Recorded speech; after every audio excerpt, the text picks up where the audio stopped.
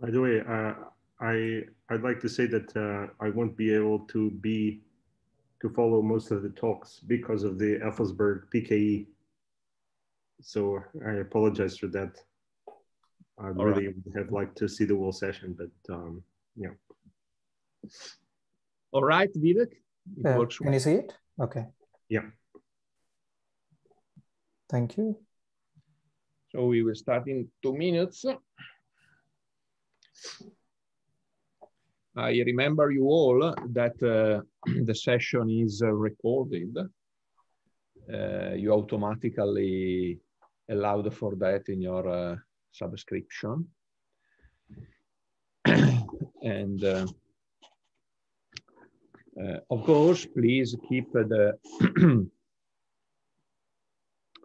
keep the microphone off while others are speaking. For questions, they, they will be very welcome. I'll give you um, a warning um, five minutes before the completion of your uh, time. Uh, but um, indeed, I give you the warning eight minutes before the completion of the 25 minutes of the session because uh, we want to leave uh, three, five minutes uh, for questions. Questions can be uh, written on, on the chat uh, or simply just raise your hands and I give you permission to, to speak at the end of each talk.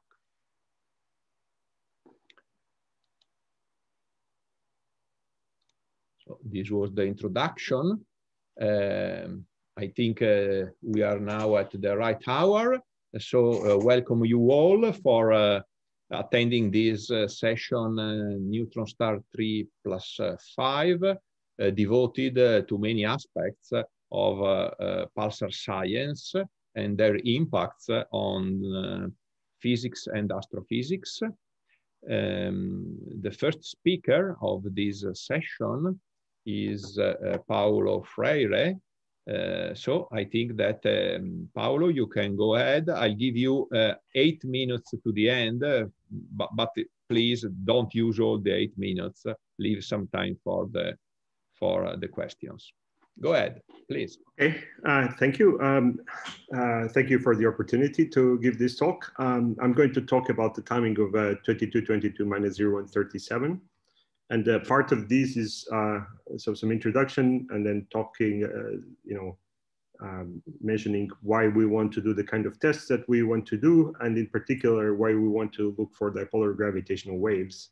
And then introduce specifically 20 to 22 minus 0 and 37. So what comes before is a little bit of introduction and context so you, people can understand why this pulsar is important. And then uh, finally, uh, consequences for relativistic gravity.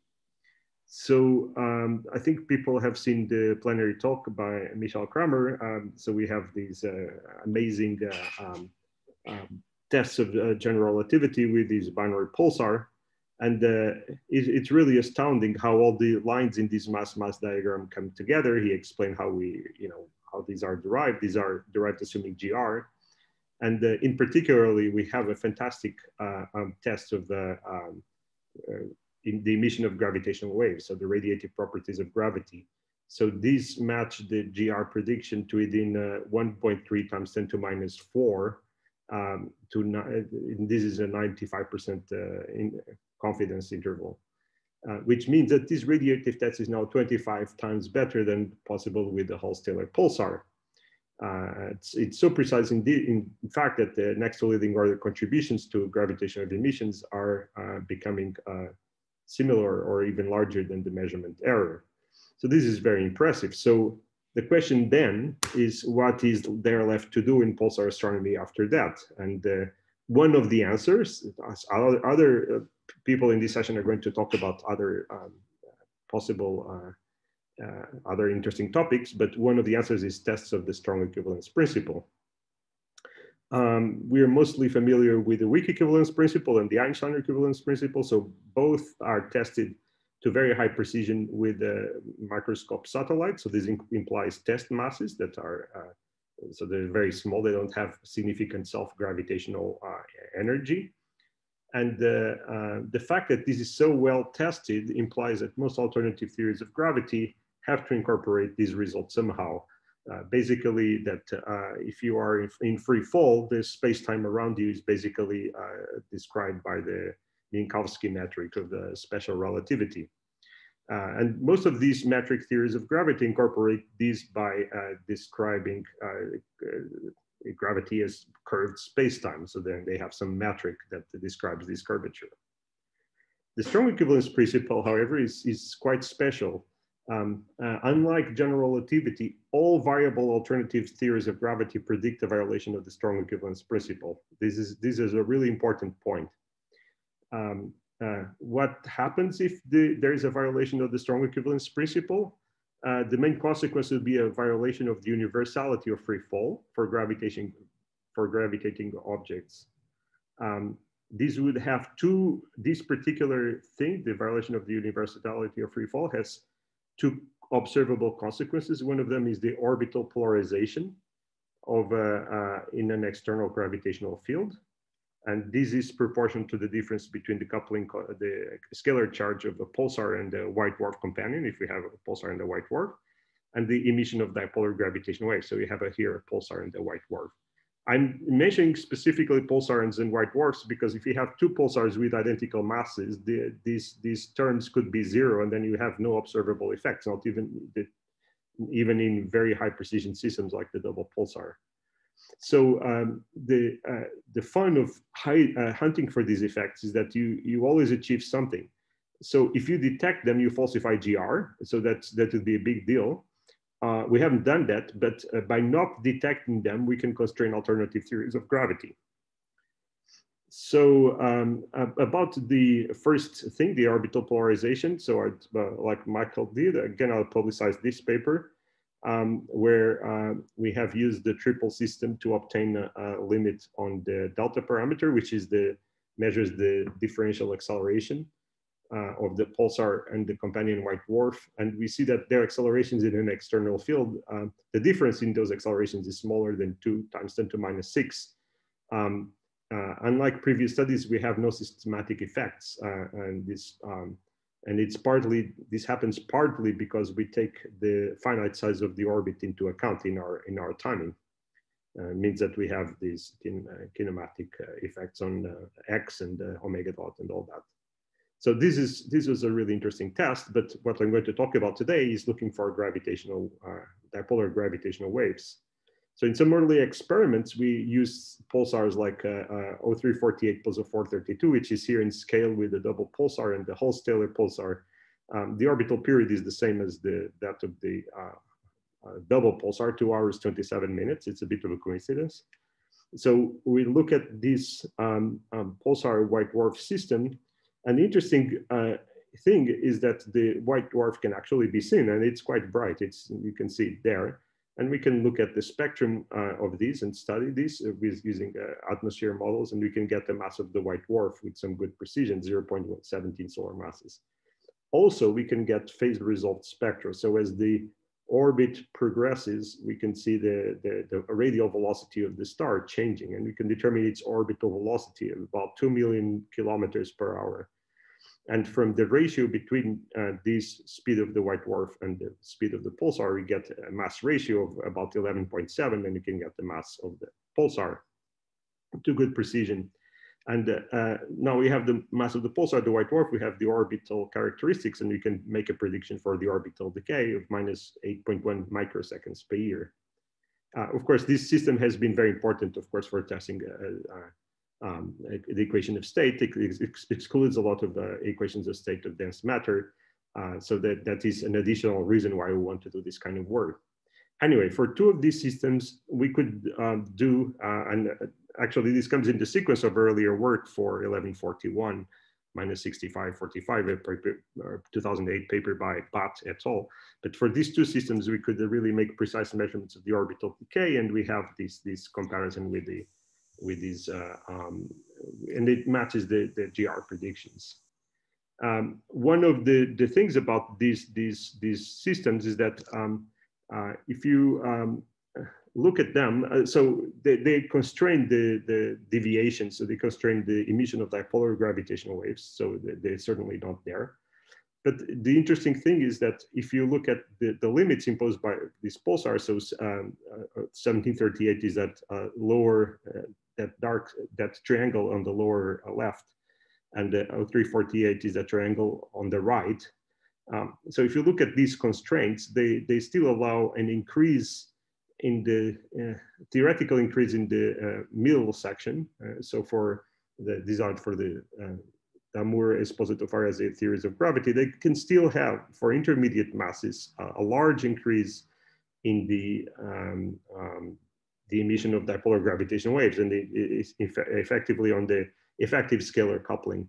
Uh, this is uh, called, it's been called the scalarization gap, and it was first pointed out by in this paper by Shibata et al.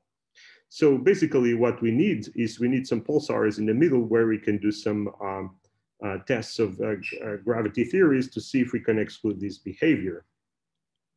The first of these was found uh, by in the PALFA survey with by Einstein at home.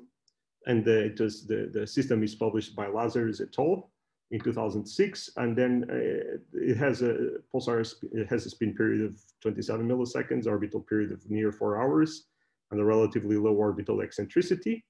Uh, so it's we think it's a double uh, double neutron star system.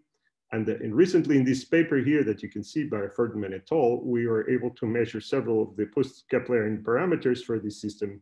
And uh, it is quite an interesting system. So the mass, uh, total mass of this system makes it the most massive double neutron star system in the galaxy, a few percent, three or three percent uh, more massive than the Hulse-Taylor pulsar.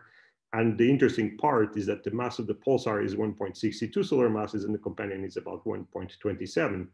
Uh, so um, this makes it an asymmetric system, uh, uh, of, although it's two neutron stars, but they're quite uh, different in their binding energies. So it makes them interesting for uh, uh, tests of the dipolar gravitational wave emission.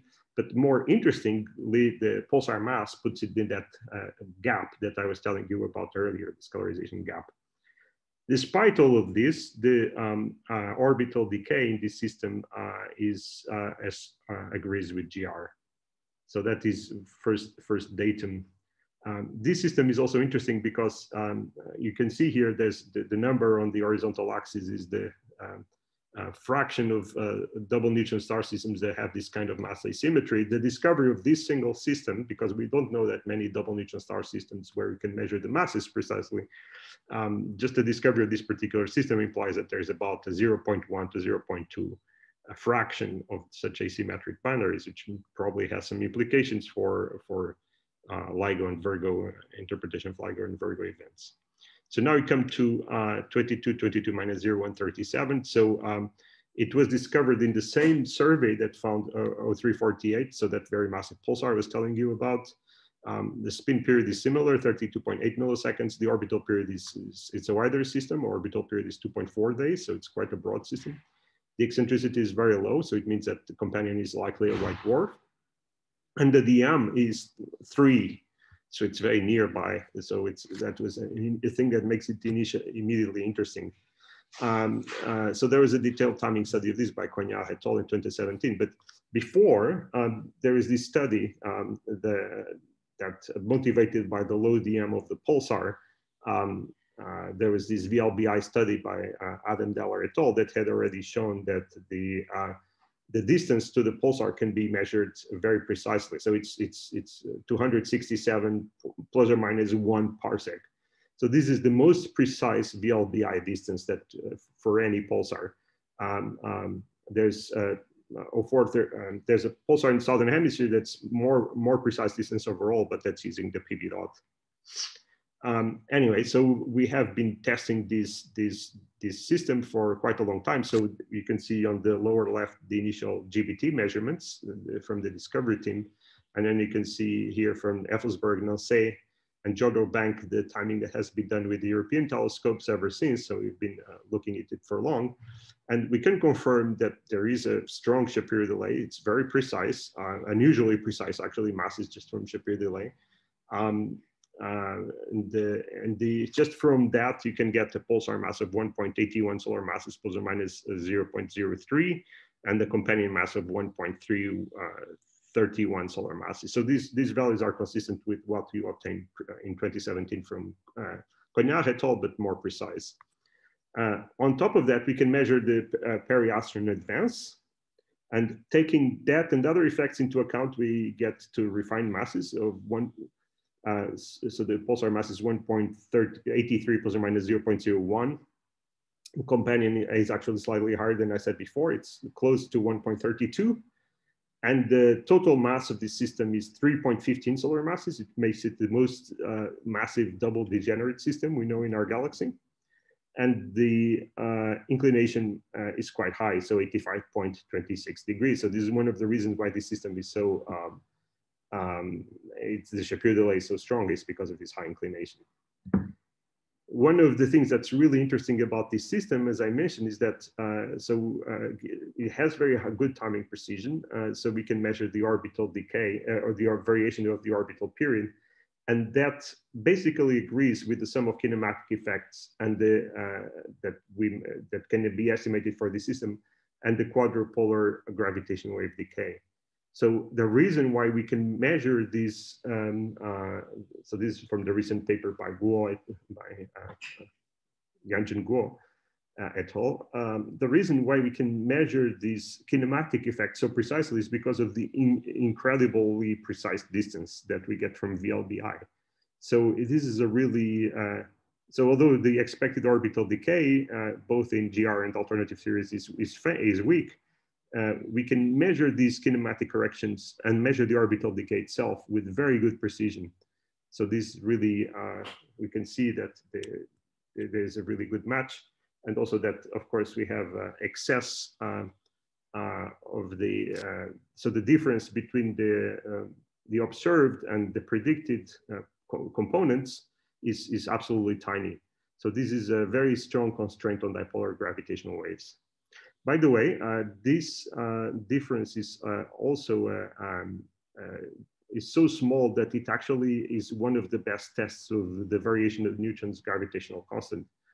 And so um, that for that reason, uh, this will also be a, a, result that will come out of this, this, this system. Then mention, I'll mention briefly the, some consequences for relativistic gravity of that measurement. So uh, there's this uh, 2017 paper by Shao uh, et al. on the, how the, the work is done. So this is a work where we try to constrain the um, um, this phenomenon of spontaneous scalarization, or as they call it, non-perturbative effects in, in the actual gravity that operates in nature compared to the predictions of GR. And uh, they are the one, so there's a new version where we have this plot that is the plot that we had before the, the recent experiments. And if we introduce the, the new experiments, you see, uh, which are in, in red, so 2222 is the one, the, the red triangle more to the center, uh, the, the asymmetric double neutron star is 10, 1913 plus 1102 are uh, a little bit to the left. And you also have the, the double pulsar there on the lower left. So if we introduce these new experiments, we really get rid of this, this gap. So basically, this whole phenomenon of spontaneous scalarization, which is uh, actually a broad prediction, many theories of gravity might might might be able to, to have this this this deviation from from um, from GR uh, are not um, are not predict are not observed. By the way, these different curves mean different equations of state because we don't know what's the real equation of state. We can try several of them and, and we always get the same thing. No matter what is your equation of state, we get this, this behavior. So Paolo, yeah. Eight minutes, including uh, questions. Yeah, so the, I'm coming to the end. So um, the radiative test of the double pulsar agrees with GR2 uh, 1.3 times into minus four despite that, that there's other many other interesting tests of uh, gravity theories that we can do with pulsars. Uh, so I mentioned for the triple system, uh, we know that uh, universality of free fall applies to one uh, to a mass, a neutron star mass of that mass to at least two parts in 10 to, uh, 10 to six. Um, um, we can alternatively look for emission of dipolar gravitational waves. We've done many experiments with different masses. We don't see any sign of that. This means that gravitational waves are purely quadrupolar as expected from GR. So there's no, no dipolar component. So this is really a test of the nature of gravitational waves. We don't see spontaneous scalarization for the observed neutron star mass range. So this is the main point from the study of 2222. Even more extreme systems have already been discovered. So are really the, the talk by Andrew Cameron is, is an example uh, which will be even more tests, more stringent tests of gravity theories and nature of gravitational waves. So that's it. Thank you. Thanks a lot, Paolo. Mm -hmm. Very nice talk. So it's time for questions. Uh, please uh, raise your hands. Yeah, I see. Uh, sorry for the pronunciation of the name. Utah. Um, Utah. It's Jutta. My okay. name is Jutta, if you mean me. Uh, Utah. Go ahead. Uh, yeah, okay, thank you. Uh, so uh, thank you very much uh, for this very interesting talk, uh, Paolo. But uh, I would like to address this point of no spontaneous scalarization. And um, I was wondering, we, we, we do know that when we allow for a mass, of the scalar field, we evade uh, many of these uh, constraints for zero mass uh, spontaneous uh, scalarization. Uh, did you include a mass uh, in these calculations that you did to say there is no spontaneous scalarization, or do we still evade this these experimental observational results or have a, a certain um, limit for the mass? Yeah, so this is the mass of the scalar field. So uh, these calculations are done strictly in the um, um, framework of the Damour Esposito uh, Farese theories, but the observational limits apply to any theory. So it doesn't matter which theory you try. Uh, if there is in such a theory a prediction for, for the increase in dipolar gravitational waves, we can exclude it. So, so although the curves from these limits are strictly from DEF, which is massless, it, the, the experimental limits will constrain any theory that predicts this increase in the emission of dipolar gravitational waves. So I think it is underst understandable, right? So, so if, if you put, if you have um, a massive scalar field um, uh, that you know, where, where the neutron stars also emit, uh, that makes them also emit extra dipolar gravitational waves. This is also, these will also get excluded. Okay, so when we talk to uh, evaluate uh, the dependence uh, on the mass of the emission of this uh, dipolar uh, radiation. That's right, yeah. Or dipolar, or, or even because the, the, there's a quadrupolar term also associated with, the, with this uh, uh, uh, scalar charge. And so the, the, the, point is that it doesn't matter which theory you have. If, if, if you have um, it, the emission of this for any neutron star mass and any equation state, it doesn't matter, it's, it's excluded. And that, that, that's really the beauty of the result. I mean, people, some, some, some referees got the point wrong about this. Oh, you're only excluding a tiny uh, um, uh, parameter space within the Damour Esposito Farese gravity because we only this theory is only for beta naught equals minus 0.4, 4.5 and so on. So it's a very restricted range where you have this blow up that you observe here in between. Oh yeah, but, but this is a different parameter. I mean, uh, uh, we yeah. also, so the, uh, uh, when we allow for mass, we uh, allow for different uh, values of this parameter. So this is also very much right. So, so, so, so, you can also constrain those theories in principle. You just check how many dipolar gravitation, what is the amount of uh, effective scalar charge and how many dipolar gravitational waves result from that. So if you do those tests and then you can exclude that basically. Yeah, okay, so but, but this means this still has to be done uh, in order to compare with these uh, calculations mm -hmm. And your observations. Yep. Okay, thank you. Thanks, Jutta. Uh, other questions? Uh, yeah, I had my hand up. Can I can I ask? sorry, I couldn't see that. Um, yeah, so now I see. Go ahead, Vivek. Thank you. Um, very nice talk, Paulo. Uh, I just had a, a, a question about uh, this plot. Uh, I, I think you already answered from the previous uh, question, but is this just for beta naught equals minus 4.5 and uh, the, the y-axis is just alpha naught? Um, so uh, no, this is uh, the maximum you can get for any particular equation of state. So the, the, um, this, the largest effective scalar coupling that is allowed. so there's a basically a search in beta naught space for the largest uh, beta naught that's allowed for any particular uh, for any particular equation of state. Yeah. So it's kind of a worst case scenario. Okay. Right. Thanks. So so um, yeah.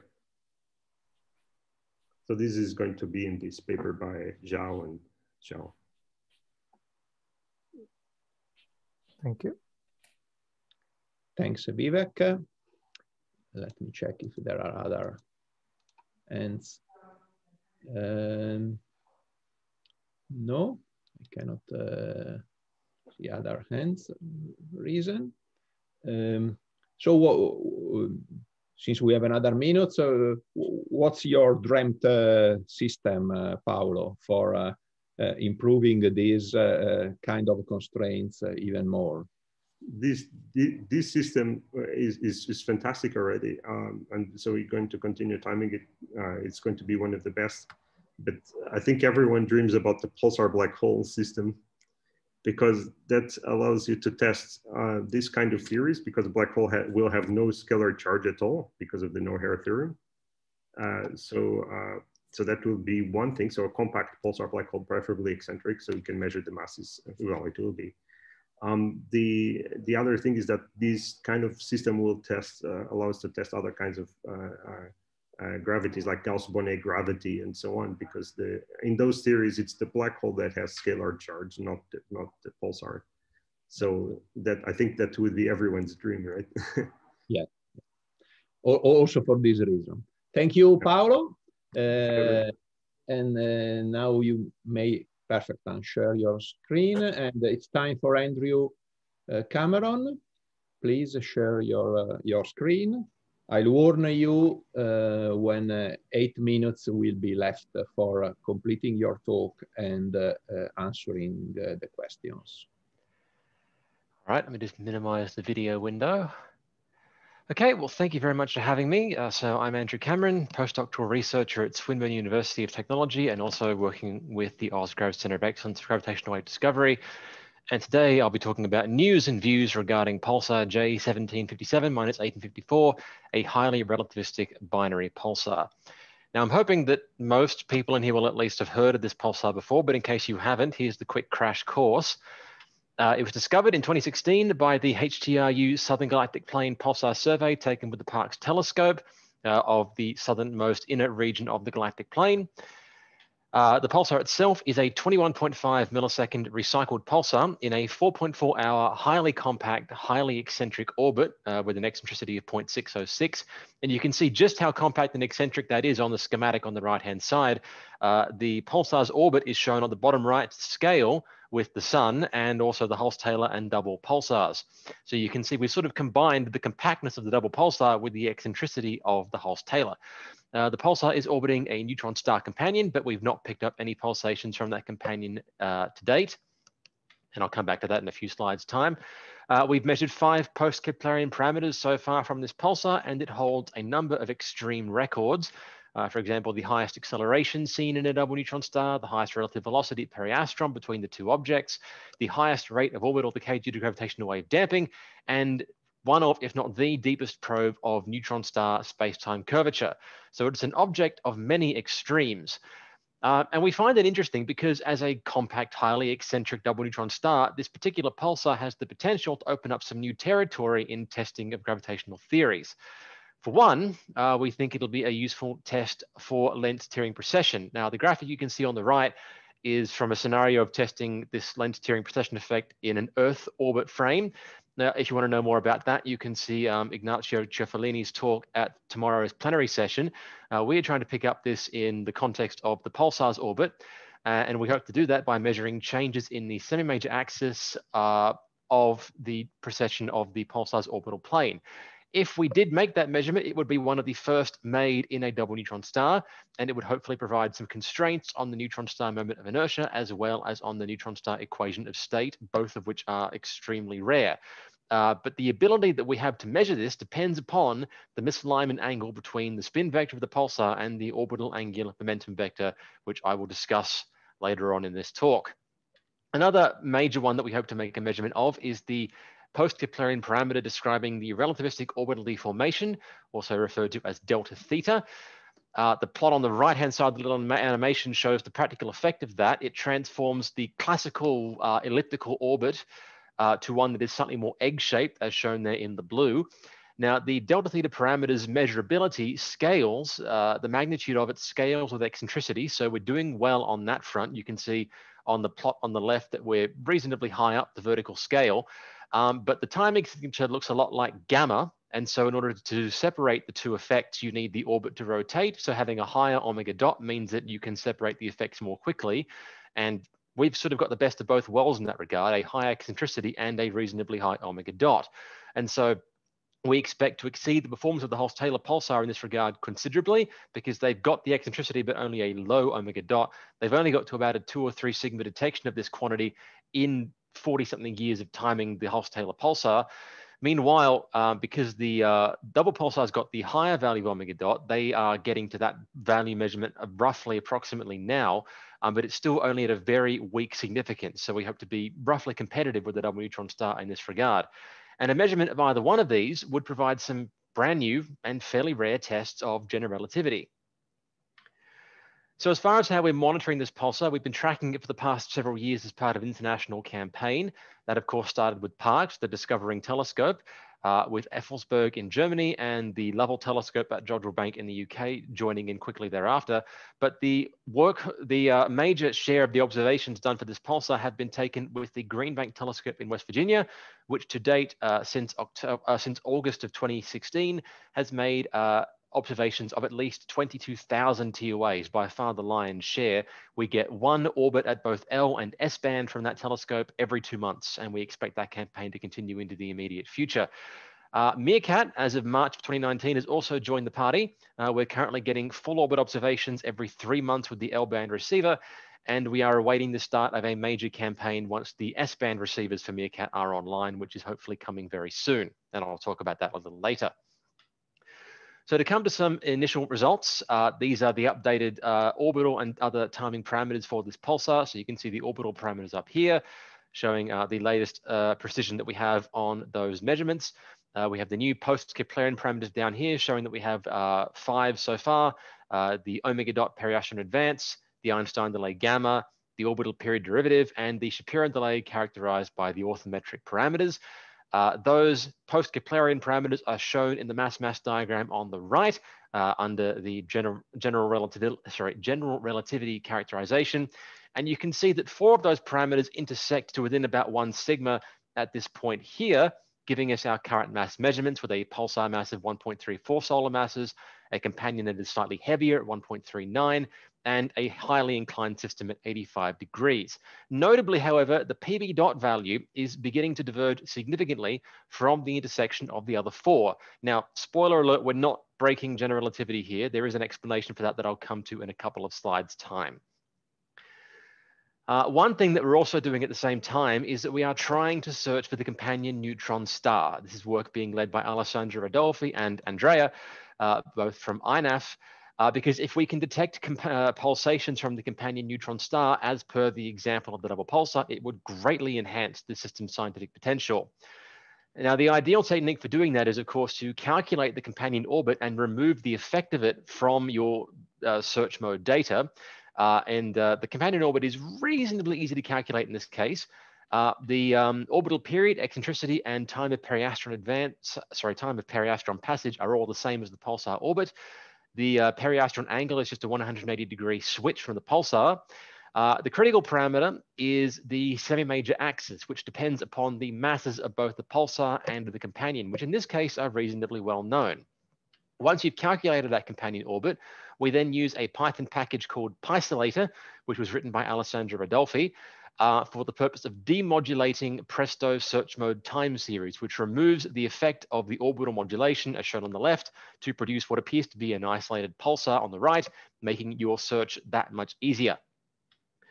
So our search strategy goes as follows. We take our search mode data and demodulate it uh, according to the companion orbit at different trial values of the mass ratio Q, because although the masses are known reasonably well, there's still some wiggle room in there. So we run a search over the parameters listed on the slide. For then each for each Q trial, we then apply a Fourier transform to each uh, search mode observation and then progressively stack the Fourier spectra because having removed any orbital effects, you should get a clean uh, very narrow detection of the, a pulsar should it be there in a one or two Fourier bins so that stacking them on top of each other should result in a stronger overall detection. And you can see an example of this from this technique applied to the pulsar that we already know about in this system. So if I hit the animation here, you can see that as we add more search mode data Fourier spectra together, the fundamental frequency of the pulsar increases quite significantly in Fourier space, and you can then apply standard search techniques like harmonic summing, etc., to this enhanced Fourier spectra to try and pick up the presence of any companion. Now, as far as the data set that we're searching, we have coherently dedispersed data from GreenBank spanning uh, two different backends, GUPPI and Vegas, at two different frequencies, both L and S. So we've got about 80 hours at L band per backend and about 110 hours per backend at S band. But the total amount of data isn't just adding up all those numbers. There's quite a bit of overlap in those two backends where they were observing simultaneously. So it's roughly about two thirds the size of what it would appear just by adding up those numbers. Uh, and that search is currently ongoing. Unfortunately, we haven't made any detections of a companion just yet, but rest assured, if we do, you'll hear about it fairly promptly. Uh, one thing that we can update since our last major report on this pulsar a few years ago is that we are now able to measure the proper motion of the pulsar as shown in the plot on the right hand side, uh, showing the measurability of each of the proper motion components as uh, a function of the observing time from the Green Bank telescope. Uh, in red is shown the right ascension component of the proper motion, which comes in nicely at about 4.36 milliarc seconds a year. Uh, less constrainable has been the proper motion in declination due to the fact this pulsar is very close to the ecliptic plane. Uh, it's leveled out at about minus 0.8 milliarc seconds per year, but it's still got a way to go before it's properly constrained. That said, because it's close to zero, we are now, now able to get a reasonably well constrained estimate of the total proper motion of about 4.4 milliarc seconds per year. Given that measurement, we're now, uh, now able to come back to that earlier point about the divergence of PB dot and what is causing that. Uh, the plot on the right shows as a function of distance uh, the excess PB dot. Uh, that excess is calculated by the given equation where you take your observed PB, uh, sorry, take your observed PB dot value and subtract each of the contributing components. Uh, those are, of course, the intrinsic GR contribution calculated here from the intersection of omega dot and gamma. Uh, we have the galactic potential contribution uh, taken here from McMillan 2017, uh, which is dependent both upon the distance to the pulsar and its position on sky. Uh, and the last contribution comes, comes from the Shklovsky effect, which uh, comes, uh, which is dependent both on the pulsar's proper motion and once again on its distance. Now, if you want this test to be useful and for general relativity to pass the test, you want the resulting uh, excess value to be consistent with zero. And you can see from the schematic on the right-hand side that there's a range of distances where that is possible. But the largest uncertainty contribution to this test is that we just don't have a good idea of how far away this pulsar is, which is providing a fundamental limitation on our ability to undertake the, the uh, radiative test of gravity with this pulsar. Uh, for example, if you take the NE 2001 DM distance to this pulsar, it comes out at about 7.4 kiloparsecs, which looking at the curve on the right seems reasonably inconsistent with what we're seeing. The YMW16 DM distance model comes out with a distance of 19.6 kiloparsecs, which is way down the end of the scale and once again seems relatively inconsistent. In theory, you could turn around the measurements that we've actually made using this uh, curve here with its one sigma error to estimate what distance the pulsar is at under the assumption of GR, and you get a distance here of about 8.5 to 14 and a half kiloparsecs. But that is far less useful than actually knowing the distance and being able to use that to properly test GR. So this does unfortunately slightly limit the pulsar's usefulness in the radiative test of gravity. One other thing we've been trying to do recently is look for the presence of geodetic precession. That is, of course, the precession of the pulsar spin vector caused by the coupling between a misaligned spin vector and the orbital angular momentum of the pulsar.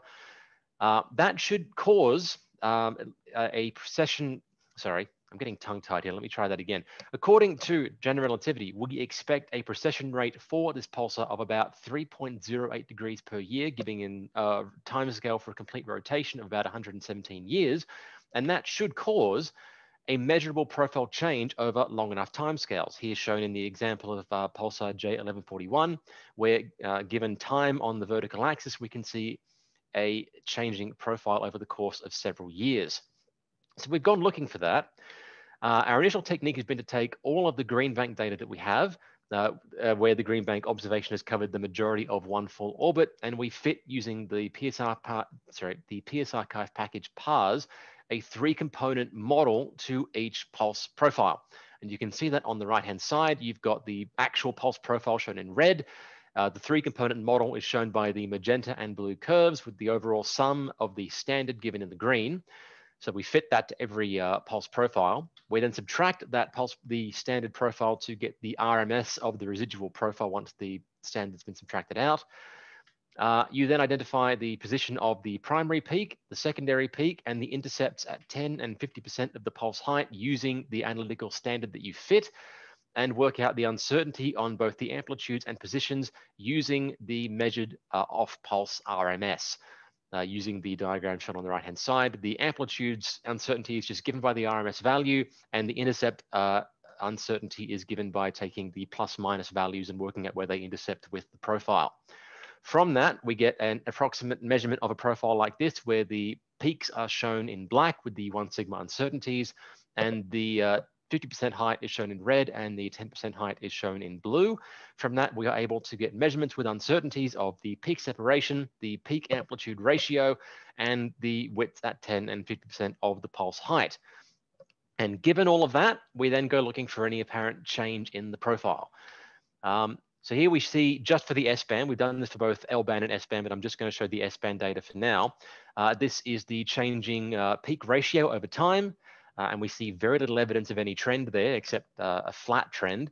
Uh, down here is the uh, peak separation, and there is the weakest indication of possibly a slight decrease in the separation with time, but it's still very much buried in the uncertainty, so we can not say that there's any real trend there either. There's the changing width of the pulse profile at 10% of the height, with again showing a flat trend, and the same is again true of the changing width at 50% of the pulse height. So what does this mean? The fact that we so far have not apparently seen any strong change in the pulse profile over the course of several years, roughly uh, you know, four to five years in this case. Uh, well, it could mean one of many things. Uh, for one, it may mean that the pulsar spin vector and its orbital angular momentum vector are more closely aligned than previously thought. Simulations of how this pulsar came to be in terms of its progenitor supernova explosion indicated that there would most likely be a strong misalignment between those vectors, but it may be the case that that is not uh, true. If that is so, it will affect the measurability of Lense-Thirring precession, which relies again on that misalignment, and it will in feed back to affect the models that we have of this system's binary formation. Alternatively, it may just be that we are at an unfavorable precession phase, as per the diagram on the right uh, from Bailes 1988, which shows uh, precession in the Hulse-Taylor pulsar. So the precession phase is given on the horizontal axis. The parameter on the vertical is essentially an analog for the amount or the rate of profile change measurable at any given precessional phase. Uh, and the different curves show you different estimations of the changing profile that you can measure for different misalignment angles. And so obviously with a greater misalignment angle, you get a more dramatic change, but there are still certain precession phases uh, near zero and 180 degrees, where no matter what your misalignment angle is, you're going to have a hard time measuring any change at all. So it might be that we're just at an unlucky point during the pulsar's precession. Or, and perhaps most likely here, our technique just isn't sensitive enough yet. So to that end, we are looking at doing a reanalysis, and that's currently underway, uh, using a technique uh, used by Padmanabha sorry, I'm probably mispronouncing that really badly, uh, wherein uh, the pulsar J1022 had a similar analysis done where the peaks of the pulse profile were fit using uh, iteratively fitted parabolas to get a much finer measurement on the position of those peaks and their uncertainties. Uh, and we're also working on incorporating polarization information. Uh, we've got a calibration effort underway by Haley Wahl and Maura McLaughlin at West Virginia University, who are working on calibrating the entire GreenBank data set. So watch this space because this study is still ongoing and there may be some more news to report soon. Andrew, eight, yep. eight minutes to, to Thank go, you. Including, including questions. All right. So as far as next steps go, the big one that's coming up soon is that we're going to have the Meerkat S-band observations coming up. We're expecting Meerkat, sorry, Meerkat to be playing an increasingly important role in the monitoring of this pulsar in the coming months and years. Uh, so looking at the current timing that we can get, you can see the me, if you take um, the data that we get across the full band of the GreenBank L band and S band as compared to the full Meerkat L band, uh, we integrate that data over 60 second integration times and take a T TOA from each of those 60 second integrations. We get a mean TOA error from each of those configurations that is fairly similar, looking at the table on the right, and also taking a large set of TOAs and working out the, the weighted root mean squared error, you get, again, a fairly similar number, even despite the fact that Meerkat gets an almost factor of two boost uh, in one hour on the signal to noise compared to GreenBank at the L-band frequency. The reason for that is, is that Meerkat's L-band is significantly lower in frequency than what we get with Greenbank, and that's where the scattering starts to get significantly worse. So Meerkat's timing precision for this pulsar is currently significantly limited by scattering. That the S-band will naturally fix that problem quite a bit. We've got uh, indications of that already from the results of Kramer et al. 2021. Uh, showing the decreasing scattering timescale as you go up in frequency. And by the time we get to S-band, it should almost be gone entirely. Uh, and also we see from work by Spiewak et al., uh, which is coming out hopefully soon, that the pulsar has a relatively flat spectral index of only minus 1.3, meaning that we won't lose that much in terms of flux at the higher frequencies that the Meerkat S-band receivers will be using. Now that deployment is currently underway, and I imagine we'll hear a little bit more about that in the follow-up talks from this one. Um, so we're expecting some good results to come out of that fairly soon. As far as the two big tests that I outlined at the start of this talk, measurements of Lense-Thirring precession and delta theta, uh, I've run some simulations to try and predict how soon those measurements will be possible. That's based upon an extrapolation of the current Greenbank campaign, as well as a slightly optimistic estimation of the planned Meerkat S-band campaign, estimating one full orbit observed every two months um, with a similar timing configuration to what we're currently doing with Greenbank, getting a 10 microsecond TOA uncertainty across several different subbands across the full S-band bandwidth. We then take 30 realizations of those predicted campaigns taken several decades into the future, and at progressive steps into the future, we make measurements of the measurability of each parameter, taking the average using tempo.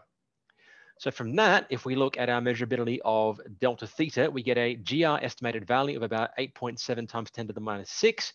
Uh, looking at the measurability of that parameter with these simulations, we see a 3 sigma significance coming in at about 3.7 years, with a 5 sigma significance coming in at about 6.2. And that's assuming both the contributions of Greenbank and Meerkat.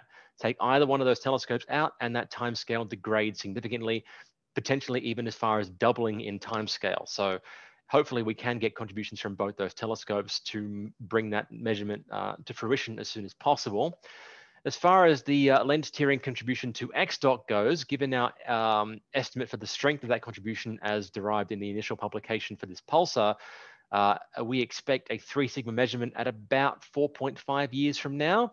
But given the caveats I've already outlined about how measurable Lense-Thirring may be and the impacts that our lack of observed profile change might have on the misalignment angles, that measurement timescale should be taken with a very large degree of salt. So we're going to have to do some work in the future on revising that estimate and its timescale.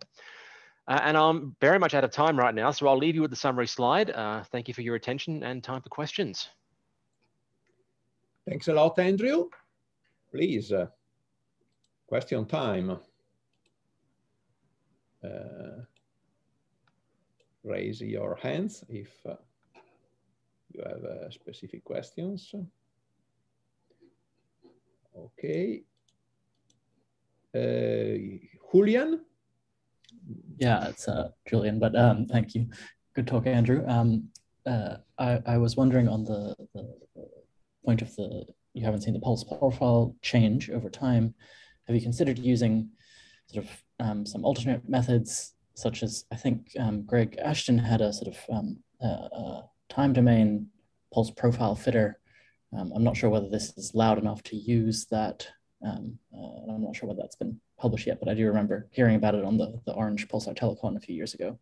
Um, so that's not a technique that I'm familiar with personally, although we are very much looking for alternate ways to make these measurements as per the slide that's on the screen right now. So if you've hmm. got any more information about that technique uh, that you could send my way, I'd certainly consider it as an alternate avenue. Yeah, I was just trying to search my emails for it, but uh, I'll keep looking and get back to you. Thank you. Thanks, Julian. Uh, Vivek? Uh, thanks, Andrea. Uh, nice talk, Andrew. Uh, I was just wondering uh, that since we now have about two years of of uh, MeerKAT data that uh, is very easy to calibrate for polarization if you've already looked for changes in um, you know the the the impact parameter in that data set. Uh, not yet. Um, to be honest, uh, my so the the uh, the MeerKAT data is a bit of a special case. It hasn't been properly built into the analysis just yet because there's a few different projects working on this pulsar. Uh, so I'm actually might not be the best person to ask as to the current status of the MeerKAT analysis, but I do at some point want to unify that entire effort, and we're still working on that right now. So I'd, I'd have to get back to you on that one. Okay, thank you. Other uh, uh, questions?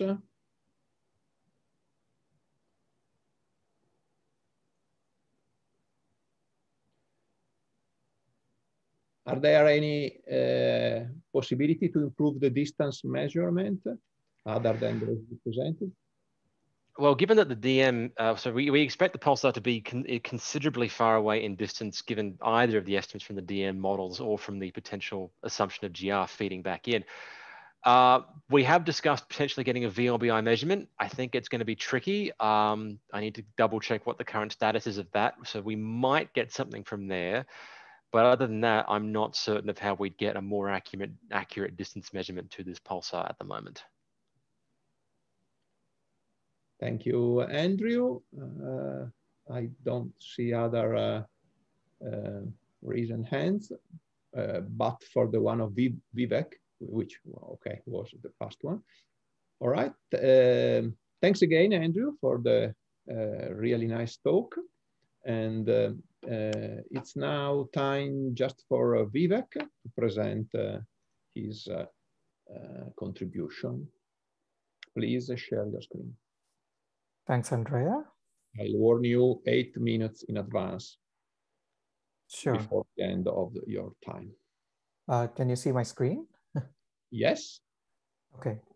Uh, hello, everyone. Um, I'm uh, Vivek, and I'm a, a, postdoctoral researcher at the Max Planck Institute for Radio Astronomy.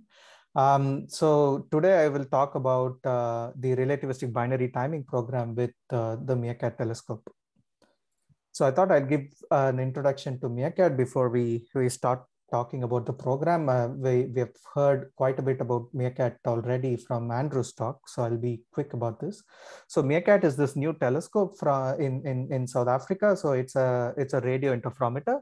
Uh, it has 64 13.5 meter offset Gregorian dishes. Um, so that combines to form a, an equivalent of, uh, of roughly a 100 meter class telescope like Effelsberg or, or GBT. Uh, this is an SKA precursor. So this would be integrated into what would become SKA phase one, uh, also currently being built in, um, in South Africa. Um, there is already uh, plans to extend MeerKAT to add uh, 20 more SKA type dishes. Um, so this is an agreement between the Max Planck Gesellschaft and uh, the South African uh, Radio Astronomy Observatory. So yeah, once this is done, um, the sensitivity of MeerKAT would be improved by about 1.6 times. There are currently two receivers that are operational and we are already taking data from it. Uh, so these are the L-band receiver operating from 700 to 1650 megahertz and the UHF receiver operating from 500 to 1 giga, uh, megahertz to 1 gigahertz. Um, the uh, band receiver, as, as Andrew mentioned, so this is specifically deployed by the Max Planck Institute. Um, so the the the deployment uh, is uh, is already done, and uh, we already had some test observations with um, with the uh, receiver. And commissioning observations are currently happening, and we, we expect that science operations would begin very soon. Um, MeerKAT is an excellent instrument for, for observing pulsars and timing pulsars um, uh, for the following reasons. Uh, one is it can see the entire sky uh, that is less than 44 degrees in declination. So anything that is not uh, covered by the pink region here um, in this plot, you can we would be able to observe those pulsars. And uh, I've, I've put a, a, sample selection of pulsars from the PSRCAT uh, database um, in this diagram here. Um, I would like to uh, mention that in the in the region that is given by the teal color here, so the the only the, the most sensitive telescope that could access this region until now was the Parkes Radio Telescope, and now uh, MeerKAT is is roughly about depending on which receivers and and uh, you compare is about five to eight times as sensitive, and so um, in this region in particular, there is a tremendous increase in, in, in the sensitivity of pulsar observations. And um, I should also mention that uh, MeerKAT has a really fast uh, slew speed of about two degrees a second, which, which greatly helps in timing uh, several pulsars. And there is also the capability to split the telescope into four different chunks. These are called subarrays, and we can observe different uh, uh, pulsars independently. And uh, there is also an ability to form four what are called synthesized tied array beams in within the primary beam of the telescope. So the primary beam is about a degree wide, and you can, if there are several pulsars in the in the beam, you can time all those pulsars simultaneously. Um, so the, the pulsar timing program with MeerKAT is, is uh, part of the large scale uh, project called MeerTime. And so this is headed by Professor Matthew Bailes from the Swinburne University of Technology. Uh, all details about this and, um, uh, and the other details about the, the uh, telescope instrumentation can be found in Bailes around 2020. And I recommend you to check that out. Um, so the, the timing program itself is, is split into four different themes. Uh, the first theme is the thousand pulsar array, where people are, uh, are attempting to observe a thousand normal pulsars to understand uh, pulsar emission and um, scattering and, and, and the like. Uh, the second is the relativistic binary program that I will be mostly talking about in this talk. The third is the millisecond pulsar timing array, which is similar to other pulsar timing arrays with other telescopes. So this is um, uh, timing several millisecond pulsars to contribute to nanohertz gravitational wave detection. And finally, you have globular cluster timing, where we are timing pulsars from globular clusters to understand the clusters themselves, but also have secondary signs uh, from those uh, pulsars. I also encourage you to check out this website, pulsars.org.au. So this contains all the, the metadata of all the observations that we have done so far. So you can check what, uh, I mean, if you have a favorite pulsar, you can go and check how it fares with MeerKAT. You can get what its signal to noise is in a, in a, in a specific time. Um, you still can't get profiles uh, or, or other actual data, but uh, this is being integrated into the portal and eventually uh, the data that is that is outside the embargo period would automatically be available from this portal. So the relativistic binary program itself um, is um, uh, its primary science goal is, as you might have guessed, um, uh, observing pulsars in, in relativistic binary systems. So these are systems that host a, a pulsar in uh, and a companion that could be a neutron star or a white dwarf and in the near future possibly a black hole uh, in a in a in a in an orbit that is short enough or eccentric enough or has a very high inclination that you start to see relativistic effects. Um, so our main motive is to measure these orbital parameters and relativistic effects and combine them with other uh, pulsar properties that lead to First of all, um, precise measurements of neutron star masses and hence understand the neutron star equation of state, uh, binary evolution of how this system came to be, and supernova physics. And in the longer term, for, for a subsection of pulsars, also perform tests of general relativity and alternative theories of gravity, as, as already mentioned by previous speakers. Uh, we now have about 45 pulsars that we are currently monitoring, 39 of which are solely uh, targeted towards mass measurements. And uh, six of those pulsars, which contains the usual culprits already spoken about, so 2222, 1757, 1141, and, and uh, the pulsars that uh, that were discussed earlier. Um, so these are not only for mass measurements, but also for tests of uh, theories of gravity.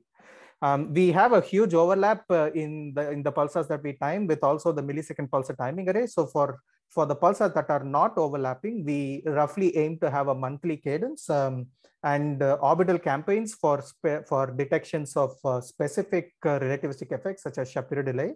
And if the orbit is short enough, um, then we usually go for full orbit observations. And we've been doing this for the last 20 or so months. Uh, here I, I note uh, all the members that uh, that belong to the um, to the to the uh, relativistic binary program team. So this is headed by professors Michael Kramer and and, and Ingrid Stairs, and we have several students, postdocs, and scientists working from more than seven different institutions from around the world. Uh, in early 2021, uh, we released what uh, was called a, a, RELBIN census. Um, so this uh, uh, outlined the, the science objectives and gave some early results. Uh, we presented 25 of the of the currently 45 pulsars that we are timing, and so you can you can scan this QR code or or go to this archive link if you want to know more about this paper. Um, in this paper, we um, reported improved uh, dispersion measure and rotation measure uh, uh, values and also uh, uh, reported polarization calibrated full Stokes profiles from uh, for all the pulsars. And for the pulsars where we could fit for a rotating vector model for the position angle of linear polarization, we also reported that and that was for six pulsars. And I show one of the examples for, for a millisecond pulsar 1811 minus 2405 in in um, in this uh, plot below. Um, I also want to mention that we performed an orbital campaign uh, on this pulsar and uh, with just an addition of 15 more hours of data to the older um, uh, data set, we could achieve an improvement in our mass estimates uh, by about 50%. And you can see the, the final masses that were reported in this paper and also the corresponding mass mass diagram on the right. And there were several other um, uh, results that were also uh, published in this paper, um, including uh, results on scattering that, that Andrew mentioned in the previous talk. So I recommend that you check out this paper for um, more details. Um, next, I would talk. Uh, I would like to talk about the double pulsar. So this was also already introduced by um, uh, by Paolo, but um, just to give a very quick introduction. So this is uh, the only pulsar for which we have seen both the neutron stars visible to us as pulsars, and um, uh, so oops, sorry. Um, uh, so this pulsar has this uh, system has a very high inclination that um, um, so when you when you look at um, uh, the system, so the um, the pulses from the A pulsar is actually blocked by the, the magnetosphere of the B pulsar. So the A pulsar is the mildly recycled pulsar that is 23 milliseconds, while um, the the old the pulsar B is uh, is an older pulsar that is uh, that rotates sorry a younger pulsar that rotates at 2.8 seconds. Um, so here is a, a, cartoon that shows how this actually uh, goes. So during superior conjunction, so you have a, a, tiny dot here that is the A pulsar and the B pulsar that is in front has its magnetosphere extended. And when I when I run this animation, you could see that um, that periodically the pulses from the A pulsar is blocked by the, the magnetosphere of the B pulsar. And you see the, the modulation of the light curve that is exactly the same as the rotation period of the B pulsar. So due to geodetic precession, B, the B pulsar precessed away from our line of sight. So we no longer actually get radio pulses from the pulsar, but we can see that we can still infer the spin period of uh, the B pulsar by just looking at these eclipses. And um, we reported um, the eclipses from the L-band and UHF um, uh, receivers in, in Kramer et al. 2021, and you can beautifully see um, this modulation of the arrival times of, uh, of the pulses that are blocked by the magnetosphere of, um, of the B pulsar. Now, as I mentioned, B also under, undergoes uh, geodetic precession. So the the orientation of the magnetosphere also changes as a function of time. And so the the how the eclipse light curve looks also changes as a function of time. So you could use this information and actually infer the, the geodetic precession rate of the pulsar. And this is uh, something that is done by a, a Swinburne PhD student, Marcus Lower. And uh, he, uh, with just a few observations spanning just about 18 months, gets uh, an estimate of um, uh, the geodetic precession that is well inconsistent um, I mean, well, consistent uh, with uh, the Breton et al. Uh, result from 2008, which used a lot more GBT data, data spanning for about six years. Um, finally, you, you can not just uh, infer um, the uh, spin precession, but what you can also do is to fit um, this um, um uh, Eclipse light curve with a template. So this is very similar to pulsar timing. So uh, in pulsar timing, you have a standard profile and you have data that you fit for and you get arrival times. And here you have an Eclipse model and you have Eclipse data and you fit for it and you can actually get an arrival time. And that an early result is shown on the right here. So this is actually timing the pulsar, although we actually do not see the pulsar anymore, we can get time of arrivals from this pulsar. So this is a very early result. So you can see that the, the, the TOAs are, are quite coarse, but um, I, um, uh, I recommend you to, to watch this space because um, um, we would get um, get a lot uh, lot more precise data once we add all the observations that we have so far. So this is still work in progress. If you want to know more about this and you are attending the the Amaldi 14 uh, conference, so Marcus is giving a dedicated talk on just this result, and you can go and check. Um, uh, his talk on 21st July at 2340 UTC.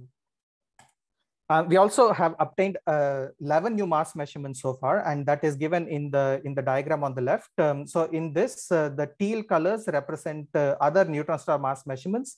Uh, the red uh, points refer to companions of pulsars that we are not sure if they are actually pulsar or white dwarf, and the and the blue um, uh, pulsar names here are new, me new measurements from the MeerKAT telescope. As you can see, we have uh, mass measurements for about 11 systems so far, and uh, we are performing orbital campaigns regularly for other systems. So this is going to improve in the near future.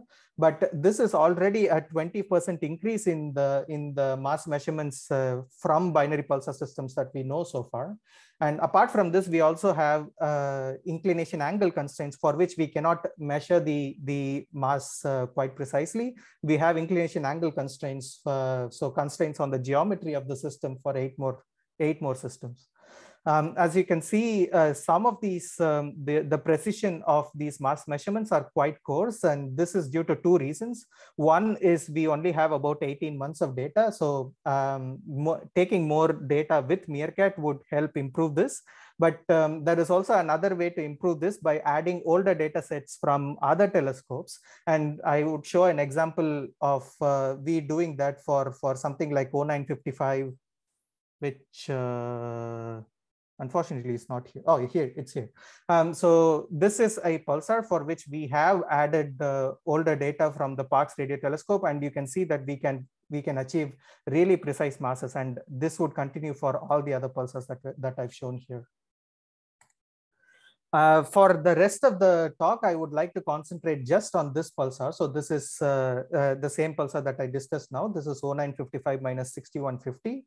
Uh, this is a millisecond pulsar. This rotates uh, uh, with a spin period of about 1.9 milliseconds.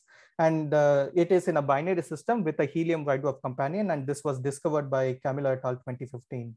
On the left, you can see a full Stokes profile. Uh, so this is the, the total intensity, linear and circular polarization of the, of the pulsar. And you can see that um, the pulsar uh, profile is quite wide. And so you get several uh, points uh, uh, of position angle swing of the linear polarization that you can use to constrain its geometry that I would get later, uh, get to it later. Um, this has an orbital period of about 24.5 days and an eccentricity of 0.1. And now this is a problem because the way we think millisecond pulsars form is through this phase called low mass X-ray binary phase, where you have a companion that is uh, that is evolving, and now it is transferring mass onto the the pulsar, thereby spinning it up. Now this process, this low mass X-ray binary phase, also has a secondary uh, result of, of uh, circularizing the orbit. So if you if you look at uh, several uh, helium white dwarf uh, binaries that we know of, we always see that um, the uh, the eccentricity of them are quite tiny, and this is what is shown in this plot on the left here. So here Yeah. I yes Eight minutes. uh, sure. Um, here I show um, a plot of um, orbital period as a function of orbital eccentricity. And you see that, uh, that uh, some of these pulsars stick out from the general trend. And this is called eccentric millisecond pulsars, out of which uh, 0955 is one of them. Now, there are several formation scenarios that um, uh, are proposed for eccentric uh, MSPs, and this includes uh, what is called the rotationally delayed accretion-induced collapse. In this case, you have a zero-edge main sequence uh, companion uh, binary, which undergoes uh, several stages of mass transfer to, uh, to form a super Chandrasekhar white dwarf along with a helium white dwarf. Now, this super Chandrasekhar white dwarf is, is spinning very rapidly, and but eventually gravity takes over, and this white dwarf basically collapses into a neutron star. And you can you can readily see that in this scenario, the the the neutron star that is formed should possess very low mass, so it can't it can't be more than 1.4 solar masses.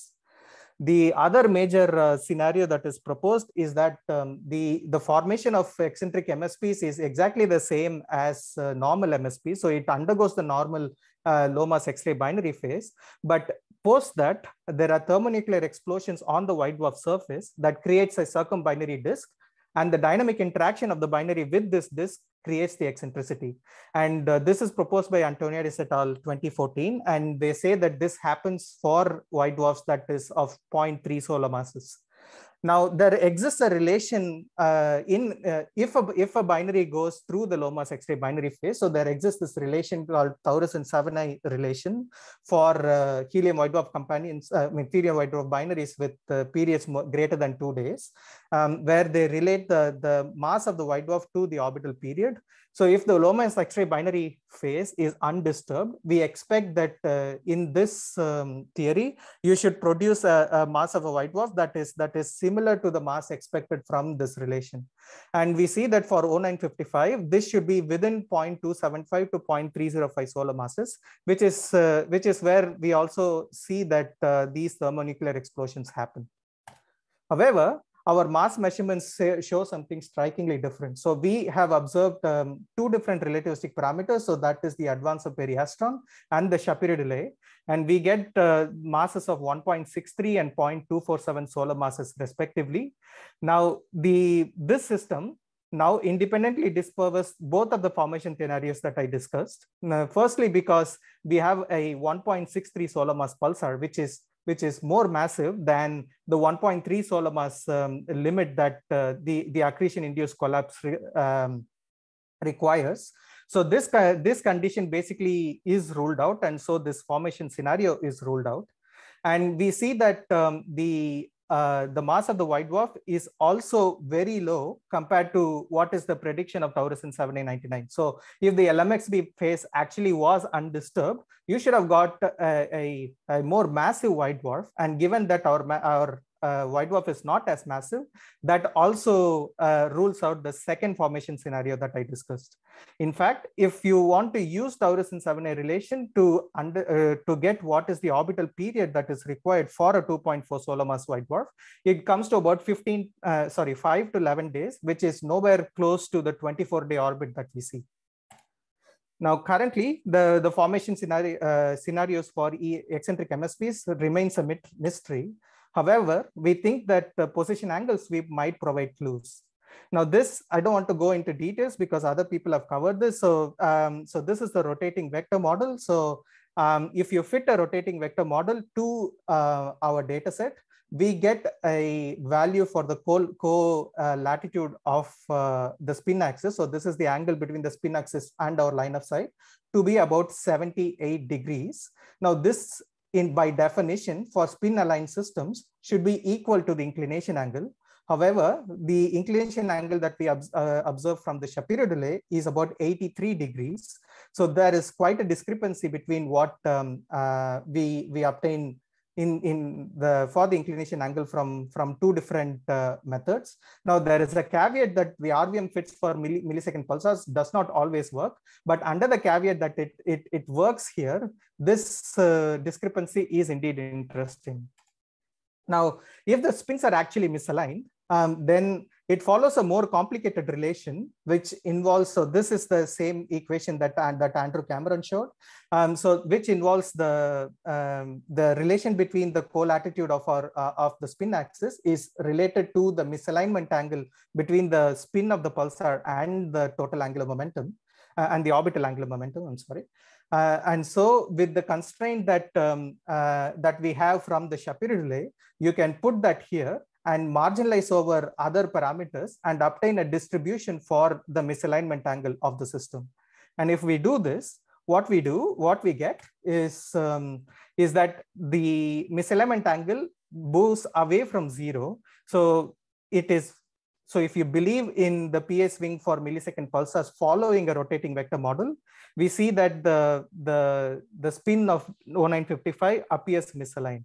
So you can see that there are two different um, uh, simulations here, I mean, fits here, uh, where you can see that um, uh, delta is not close to zero or to 180 degrees. So this is, so we have to split this into two different simulations because, uh, because um, uh, of the bimodality, but you can see that it is, it moves away from zero degrees, uh, stating that um, the, the spin appears misaligned. Now, what does this mean? It could either mean that the LMXB phase never took place or the LMXB phase uh, was broken in the middle. But if so, how can you form a fully recycled neutron star that rotates at 1.9 milliseconds is a mystery. And if there are several, uh, if there are some other evolutionary scenarios, so that needs to be investigated. And I would leave this for theorists to figure this out. Now, as a control experiment, uh, we also did this with uh, another system where we know yeah, that the spin should be aligned. You have uh, less than two minutes. Uh, yes, I'm done almost. Uh, and we see that the posteriors are actually consistent with the spin and angular momenta. So we see that the, the same experiment works for, for circular binaries, but uh, it shows that for eccentric binaries, the spin should be misaligned. And I will leave with the summary here. Thank you. Thanks, Vivek. This is just the time for one question. Uh, if, uh, if any.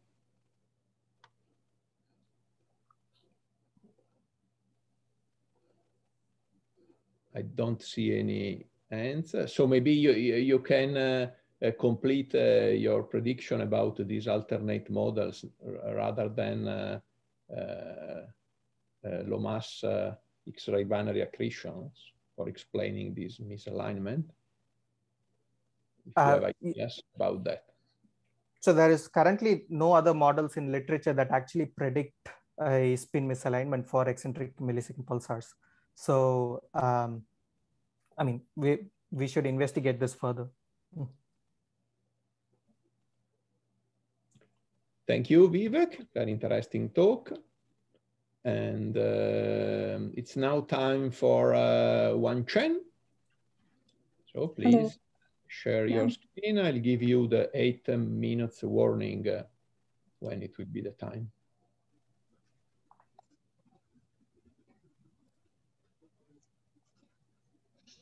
Can you see my screen? Yes, perfect. Okay. Yeah, hello everyone. Um, I'm Huanchen. I'm a PhD student at Max Planck Institute for Radio Astronomy. And my, my talk is about constraining dense matter equation of state and testing higher order GR effects with a double pulsar. so um, Michael and Paolo had, uh, and Vivek has given uh, some introductions to the double pulsar already, so I will just uh, quickly go through it. Um, so the double pulsar is named uh, J0737 minus 3039. Uh, it's the only uh, system where both neutron stars has been uh, discovered as pulsars. And it's one of the most relativistic binary pulsar system, uh, which have a compact orbit um, than the sun. And it has provided some of the most precise uh, strong field tests of GR. And there are a lot of new uh, results in the Kramer et al. Uh, uh, upcoming paper. So for such relativistic uh, binary orbits, uh, we the Kepler parameters are not enough to describe the motion, and we need to have the post-Kepler parameters. So for the double pulsar, uh, the periastron advance is about 70, 17 degree per year, which is quite significant. And also we measure the orbital period decay due to the gravitational wave emission. Uh, this measurement shows that uh, the double pulsar will merge in 85 million year. And it is the most accurate test for the gravitational quadrupole emission predicted by GR, uh, which is uh, 1.3 times 10 to the minus 4 with 95% confidence.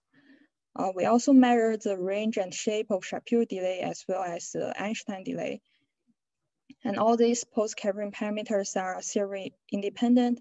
So for every theory, they can uh, be written as a function of Kepler parameters and the masses of the two pulsars. Therefore, from this measurement, we can um, measure the mass of the pulsars and do GR test. So here is a mass mass diagram showing all the measurable uh, post-Keplerian parameters for the double pulsar and they all uh, meet at uh, meet together, which uh, agrees very well with GR. And these uh, seven parameters provide five independent GR tests. And also, Michael has shown on Monday that there's a emerging one, which is the relativistic orbital deformation. So the mass measurement is very important because this can be used to constrain the equation of state of the neutron stars. So here uh, in this figure, it shows the mass radius relation of a number of uh, of states.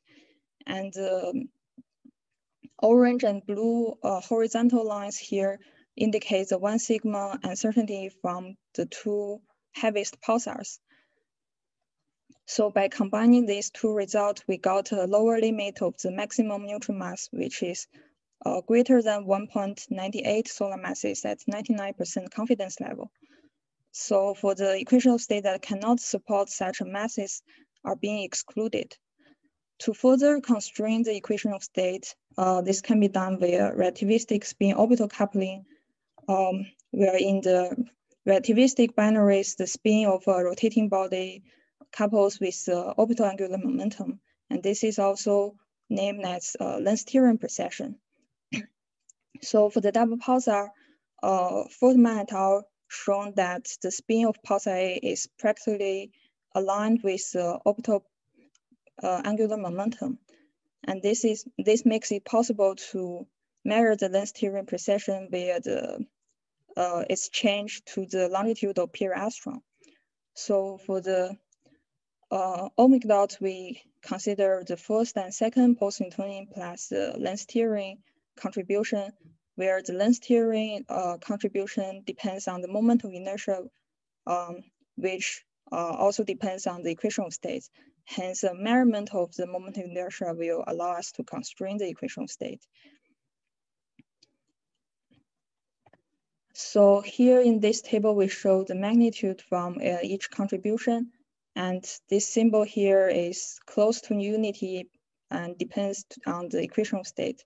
So the Lense-Thirring contribution from pulsar A uh, is very close in magnitude to the second post-Newtonian, but with uh, opposite sign. From the observation, we can only measure the uh, uh, combination of all these contributions. And our uh, observing uh, precision is now about 40 times smaller than the Lense-Thirring contribution. So we do have a good precision um, for omega dot. However, to uh, extract the Lense-Thirring contribution, we need two other best measured post-Keplerian parameters to measure the masses of the two pulsars. And we are limited by the precision of pp dot, the change of the orbital period. So our observed value contains the intrinsic contribution and external effect from galactic acceleration and Shklovsky effect. So the observing precision will be improved with time and especially with new telescopes such as Meerkat and SKA. For the intrinsic contributions, the, of course, the main contribution is the leading order gravitational wave damping. And for the first time, we also need to consider the mass loss in the rotational energy, which uh, by itself depends on the, sorry, on the moment of inertia of the pulsar. So in the table here, I show the magnitude from each contribution. Although the contribution from mass loss is still below the observing uncertainty, uh, we have to account for this in the an analysis. Otherwise, this will lead to a bias to the moment of inertia measurement. Also, the, the observing precision is uh, improving rapidly with time. So for the external effect, these two contributions uh, depends on our knowledge of the distance of the pulsar and also the galactic gravitational potential. And soon uh, we will be limited by this um, measurement. So this uh, needs need to be improved in parallel. So with these three uh, post parameters, we can solve them uh, simultaneously to derive the mass of the two pulsars and the moment of inertia. So Michael has shown on Monday that with 16 year data, they were able to get a detection of the moment of inertia, uh, which is below uh, three uh, at 90% confidence. Uh, this is still not uh, good enough compared with other method. So more data will be needed to get a robust result and the increase in the sensitivity of the telescope will be important. And that's where the MeerKAT comes in. So uh, Vivek has uh, gave an in introduction about MeerKAT, and we start observing uh, the double pulsar with MeerKAT since 2019, and we are now getting about two years of data set. And in previously, the best data set were coming from the Green Bank telescope, and MeerKAT is uh, close to the GBT in the size of the effective uh, diameter. However, because the location of the double pulsar, the precision we get from MeerKAT is about 2.5 times better than the GBT. So this comparison is made at L band. So in, uh, indeed, MeerKAT and SK is the best telescope for observing the double pulsar. Uh, to understand the capacity of uh, measuring the moment of inertia in the near future, we perform a simulation um, assuming the observation from MeerKAT, MeerKAT Plus, and SK1. So these were the estimate uh, when we wrote the paper, but this could be changed.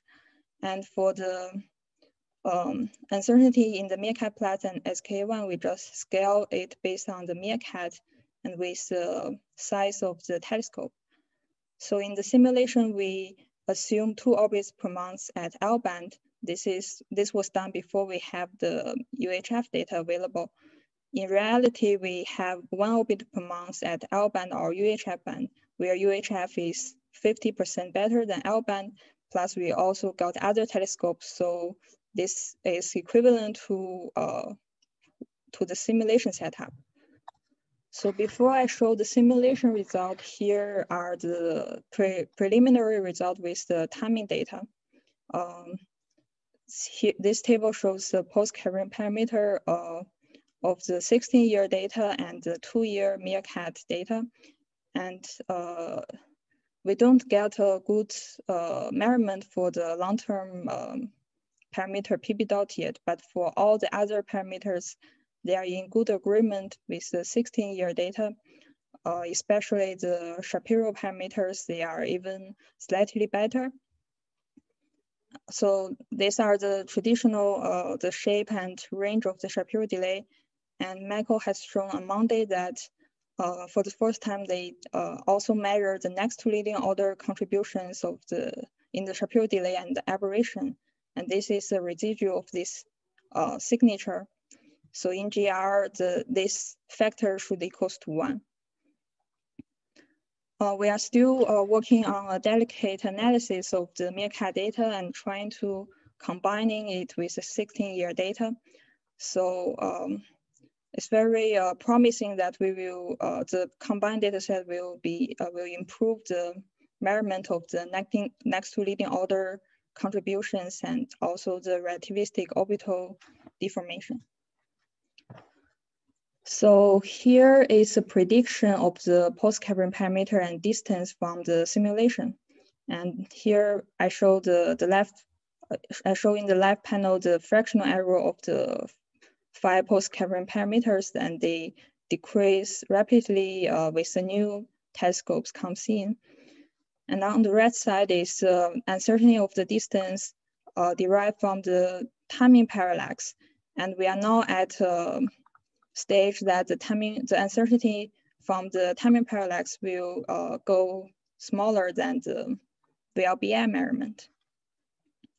So with these post-Keplerian parameters, we can um, um, measure the moment of inertia. And this figure shows the uncertainty of the moment of inertia that we, uh, we can get in the future. So the blue line, we adopt the uh, galactic measurement from Gravity Collaboration 2019. and this gives a 25% uncertainty by 2030. Of course, our knowledge of the galactic gravitational potential will certainly be improved in the next 10 years. And if the errors are negligible um, compared to the observing uncertainty, then we expect to see a 11% um, precision by 2030. So what can we do with this 11% uh, measurement? So the, in this plot, we show the a number of equational states that can support a neutron star with uh, 1.98 solar masses. And the red bar here indicates the 11% uh, uncertainty. So to compare with other methods, the gray dashed lines are uh, equational state that excluded by the double neutron star merger event. And the blue dashed lines are further excluded by this GW event with the nuclear theory. The remaining um, blue solid lines are quite close to our 11% prediction. So in the future, um, there will be more, we expect to see more and more uh, double neutron star merger event detected by LIGO and Virgo also, we have the NICER uh, measurements ongoing, so they are probably will provide better constraint on the equation state in the near future. Well, if the equation states um, can be well measured, we can then in turn to test the Lense-Thirring precession. So in the general uh, class of theories, one can describe the spin orbital coupling with a Lagrangian, where gamma is the coupling functions depending on the gravity theory. So in this framework, we can write the general form of the length theory contribution to the periastron advance. And the sigma A here is a coupling constant, and this parameter is theory independent. So we define a parameter delta LT to measure the deviation of this parameter from GR's prediction. And then we can use uh, three uh, post-Keplerian parameter to solve for delta LT. And here we again show uh, in two cases, the blue line is uh, using this, the current uh, galactic model and assume a moment of inertia with 5% error. Then we uh, expect 19, 18% precision by 2030 if the errors in the getting model and distance and moment of inertia can be ne neglected uh, compared to the observing uncertainty, then we can expect a 7% measurement by 2030. And this will be a complementary test to the geodetic precision test by Breton et al. 2008, where they measured uh, the coupling constant uh, of the pulsar B and it agrees with GR with 13% um, precision. So another test we can make if we know the equation of state well, uh, very well is the next to leading order gravitational wave damping. Uh, Blanchet and Schaefer in 1989 extend the GW damping to the 3.5 post-Newtonian order, and this is a full uh, equation. So we can write this in a simplified form like this, where x uh, 3.5 post-Newtonian is the um, is a next to leading order term. So again, we can solve for this term using the three uh, post-Keplerian parameters. And this is this figure shows a prediction of the uncertainty of this measurement. And in the most optimistic case, we expect to see a three sigma detection by 2030. So the uh, the black dashed line here indicate the the value of x uh, 3.5 post-Newtonian. So as you see that in SKA1, the uncertainty of this parameter uh, is going below its theoretical value. So that means that we need to, uh, for the first time, consider this um, contribution in our analysis uh, from SKA1. So the last thing I want to talk about is the potential new discovery of the double neutron star system. Yes, uh, Chen, you have still eight minutes, uh, including. Okay. Yeah. So a recent uh, study by Pacilio et al. Uh, 2021 showed that LIGO Virgo sensitivities are limited to relatively stiff equation state. So they simulate like 20 uh, double neutron star merger event, and they found that if uh, the if the equation state is soft, then with 20 uh, detections, it will not be enough to distinguish the soft equation state. And the third generation detectors will be needed. And this means that the constraining equation of state um, via pulsar timing is still in the game. So we now have a number of large surveys with Meerkat, FAST, and eventually with SKA. So we have like TRAPUM, CRAFTS, GPPS, and they all have uh, discovered a lot of new pulsars within just few years of operation, and the number is still increasing. So we hope to discover a double neutron star system that are more relativistic than the double pulsar.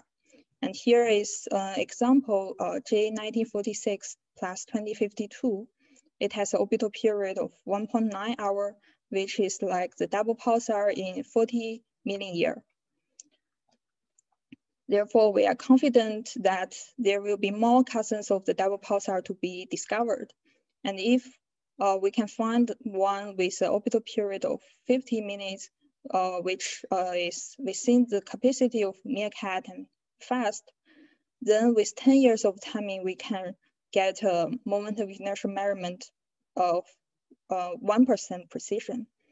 And this will uh, lead to a quite competitive constraint on the equational state. Yeah, and here is the summary.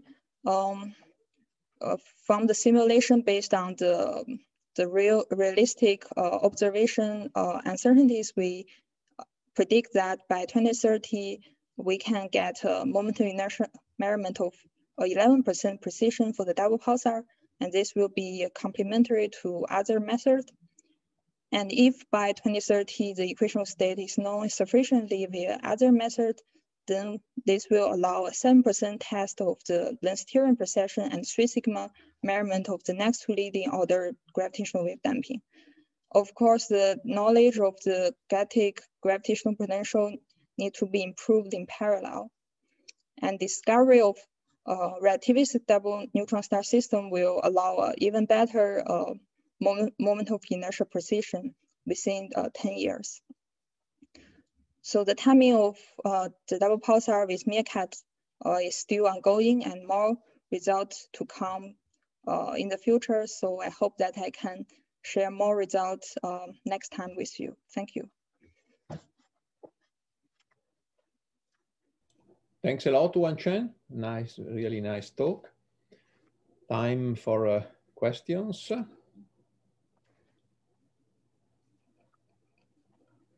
I don't see for the moment uh, hands uh, up, so I, I, will go with, with, with, the personal one.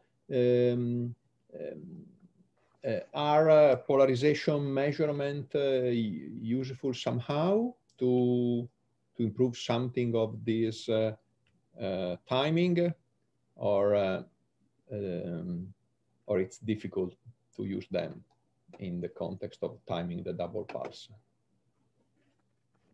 Uh, well, for the UHF band, we still don't have the polarization calibration yet, so I can't tell about that.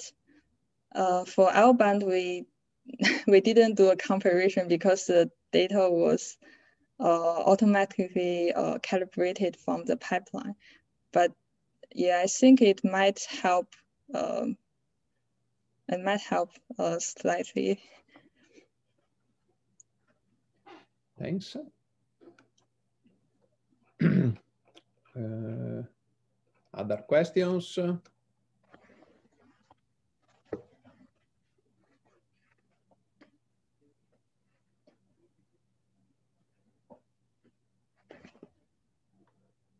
So your, uh, uh, I have another myself.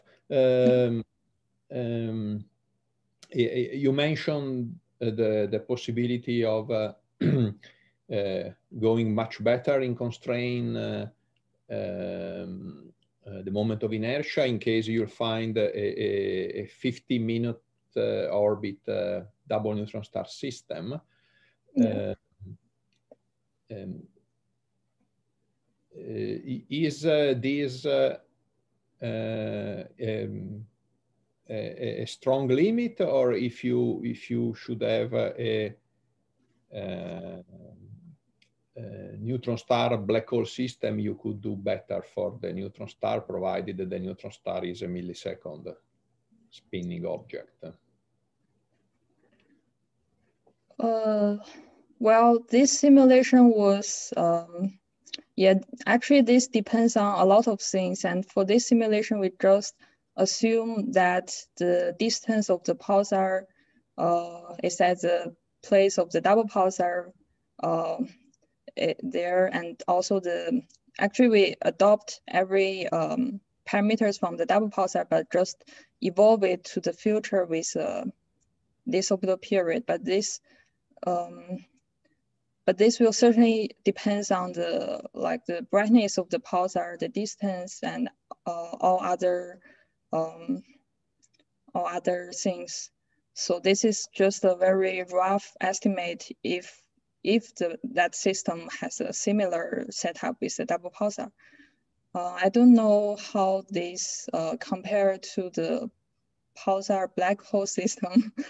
um, I, I, probably pulsar black hole will, will give a even stronger constraint. Thank you, Huanchen.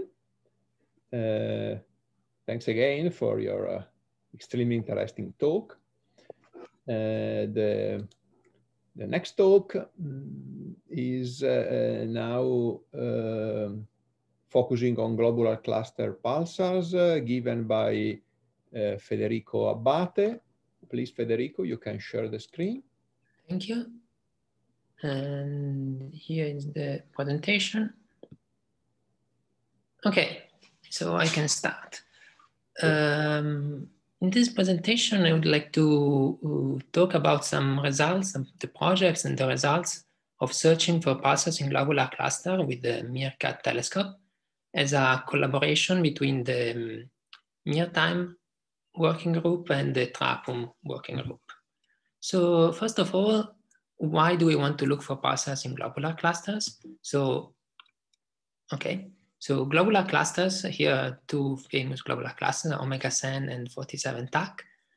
Uh, they are interesting because they are they have they are very massive. They typically have very old stars with no signs of recent star formation, and a very interesting property is that they have very high stellar density in the core, 10 to the 4 to the 5 solar masses per parsec cube, which is about three or four orders of magnitude higher than in the galactic disk. The real reason we want to look for more pulsars in globular clusters is that we know that there are a lot of them, and most of them are millisecond pulsars. We know that there are, uh, from, from what we know right now, there are about 100 times more pulsars per unit of stellar mass in globular clusters than in the galactic disks. So we want to target these objects though, because we know that we will find more, more objects. So why are there so many pulsars in globular clusters? The reason has to do with the very high stellar density, much higher than in the galactic disk. And this stellar density implies that there will be higher chances of encounters between stars, um, more importantly between binary systems and, and other systems, triple encounters. And if this happens, for example, I have an example here. If we have an isolated neutron star that, goes close to a binary system, the the system can evolve into uh, the, the, the pulsar can, well, at this point it's still a neutron star, can get into the binary system, expelling one of the companions, forming a new, becoming part of a, of a binary system. And when this happens, uh, the pulsar can accrete matter from the companion and become, uh, become recycled into a millisecond pulsar. Once it becomes recycled as a millisecond pulsar, it can live on for longer than a Hubble time. So as soon as uh, one uh, recycling event happens for the, in, in the entire life of the globular cluster, we will see the, this, the, the, the pulsar will be active. So we, if the beam is pointing toward us, we will, we will be able to see it. So uh, this uh, strange scenario in which the, the pulsars are formed through this very chaotic environment uh, creates a very wide range of unusual, unexpected, and exotic systems. Like for example, the most common one is isolated MSPs, which are quite rare in the galaxy, but are very common in the in globular clusters because the millisecond pulsars after the recycling scenario, the binary can be disrupted and the millisecond pulsar can, be, can become isolated again. Another type of systems is systems with low mass main sequence companions like black widows and redbacks. These are very interesting because they, they sometimes show eclipses when the main sequence star covers and eclipses the, the neutron star. And these are very useful to study the properties of the companion star and the accretion process itself.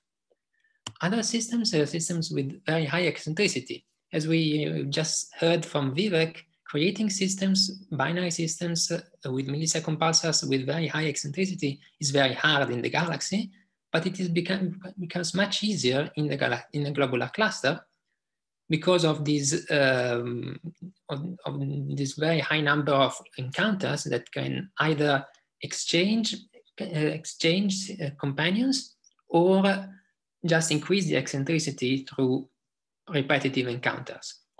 And this is very important because uh, systems with high eccentricity allow uh, some make some post-Keplerian parameters easy to measure, in particular the rate of advance of periastron, because if the system is very eccentric, we can measure the we can measure the periastron more precisely, and we can measure its, its rate of advance more precisely, which allows us to measure the masses of the of the system and, uh, um, and so we can look for neutron stars with masses, with high masses.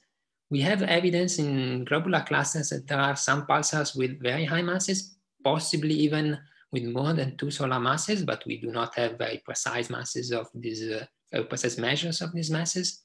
But if there are pulsars with this, with such masses, we can test the mass limit and the equation of state of neutron stars and push, the, push this limit much higher. And we, we have just seen how important it is to, to know precisely the equation of state of neutron stars. Other systems that can form, but we haven't seen anything, we haven't seen yet, are possibly millisecond pulsar, millisecond pulsar binaries, or even, uh, we have heard the, a dream of all pulsar astronomers, millisecond pulsar black hole binaries.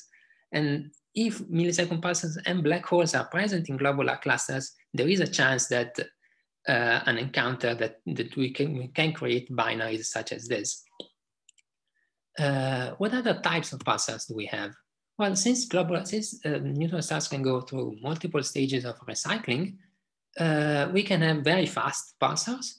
The fastest millisecond pulsar is known is, is in a globular cluster, but we can also uh, have but these interactions can also interrupt the recycling before it's completed. We can have uh, some mildly recycled pulsars.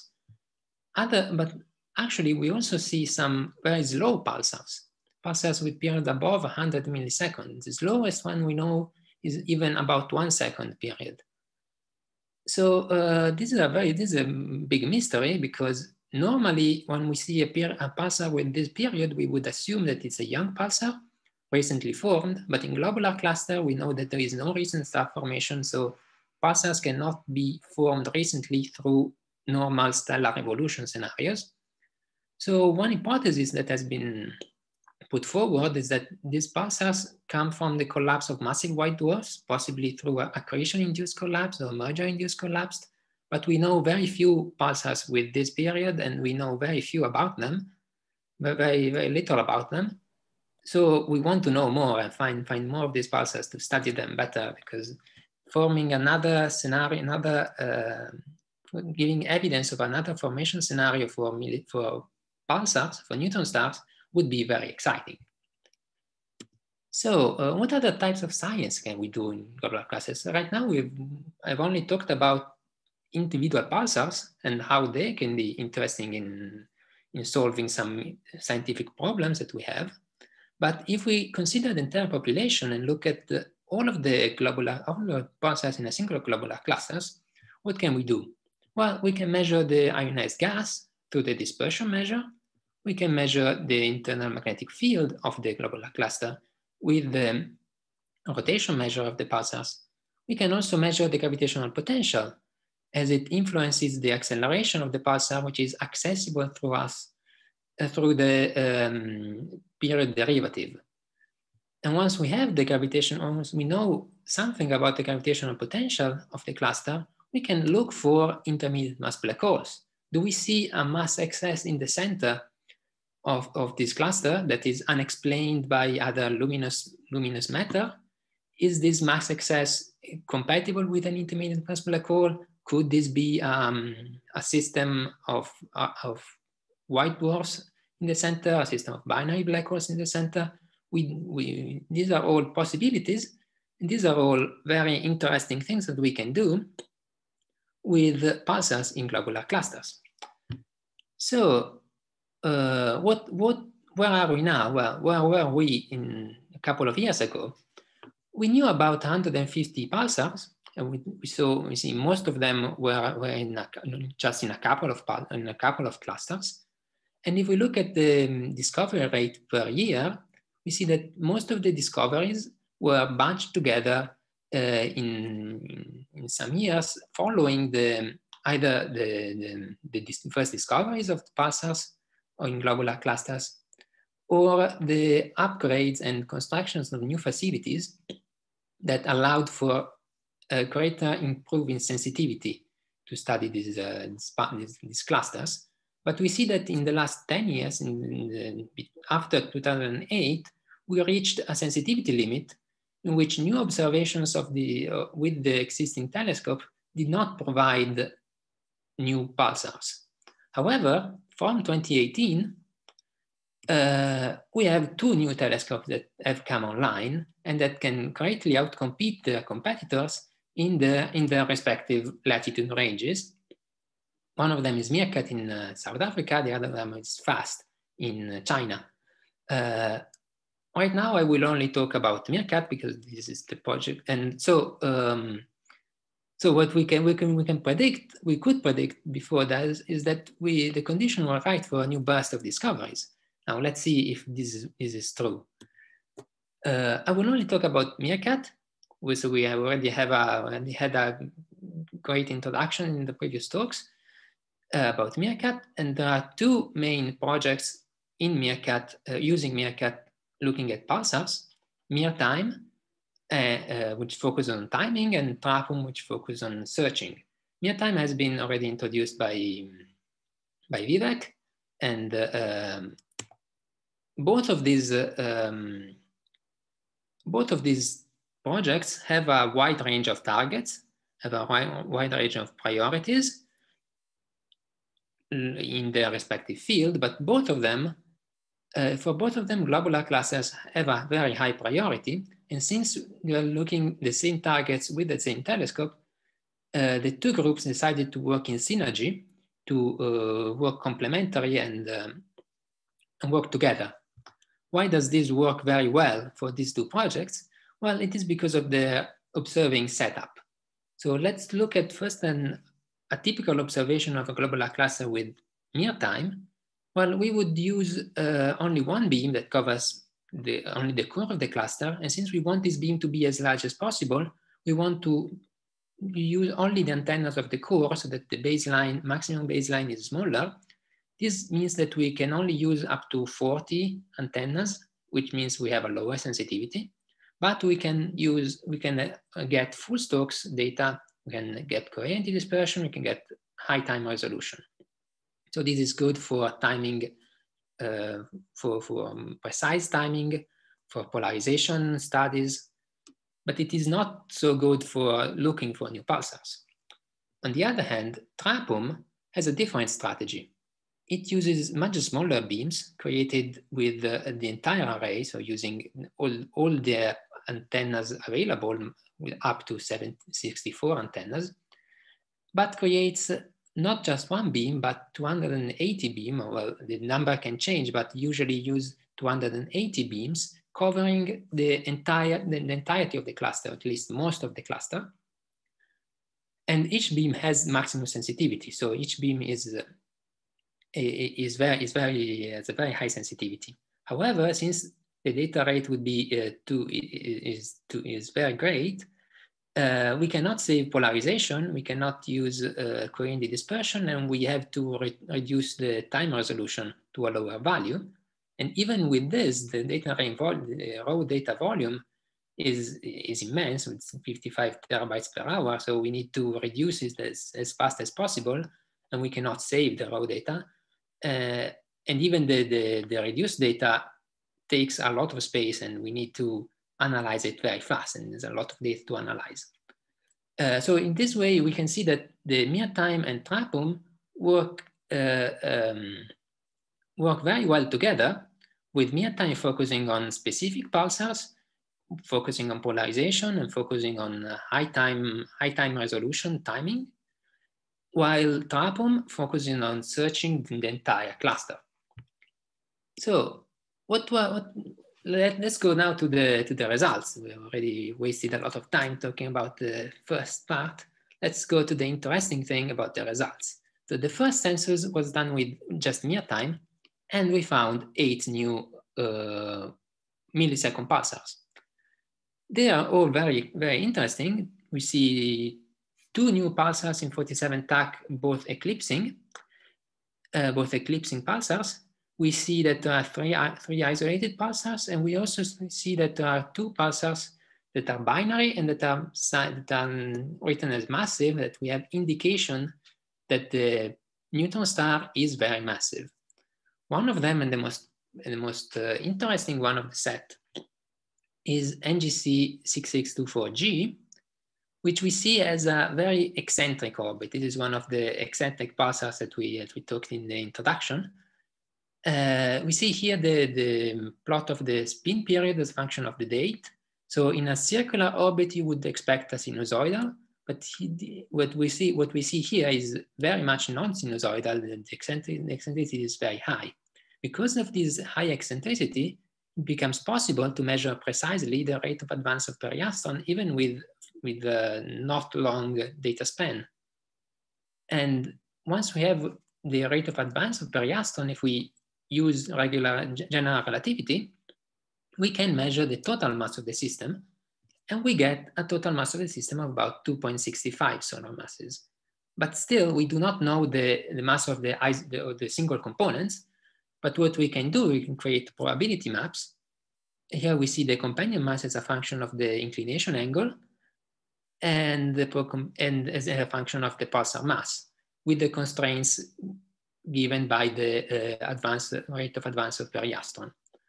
We see that the error bars are very big, but if we look at the pulsar mass, we see that it peaks at about at more than two solar masses, about 2.10 solar masses, but it has a very long tail at low masses. So we cannot say it, it is looks like a very massive pulsar, but we cannot say it as yet, as, as of now, because we cannot exclude all of this very wide range of probability.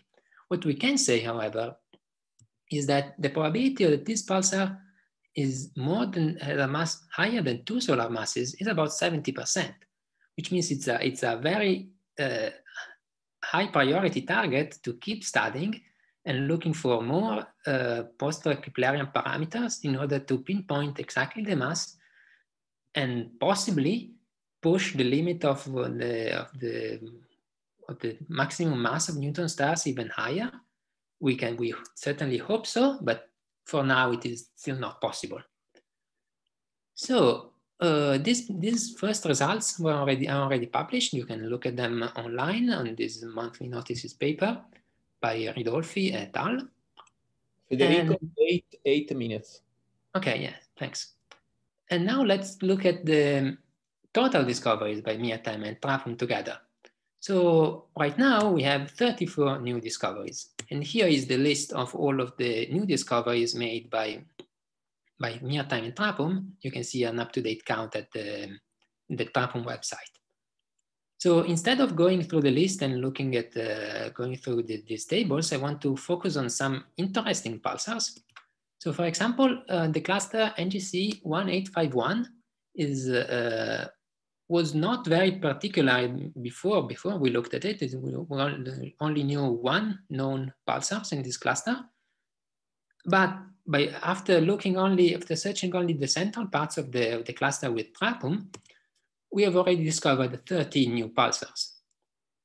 So this immediately jump put, puts this cluster as one of the richest one in uh, as for number of pulsars let's look instead of um, at some exciting binaries that we, that we find. Well, one of these pulsars in, in this cluster exactly is uh, uh, looks, looks to be extremely eccentric. We, we saw before the eccentricity, the, the, this same plot for the, um, for the NGC 6624G, and we saw that it was already very eccentric.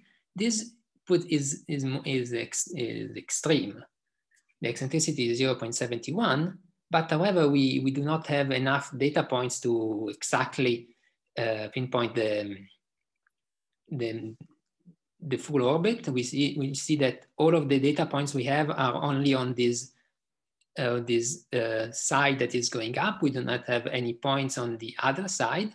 So we need more orbital coverage to uh, exactly pinpoint the average. But from what we can say right now, we can say that this, this pulsar, this massive, the companion of this pulsar is very massive.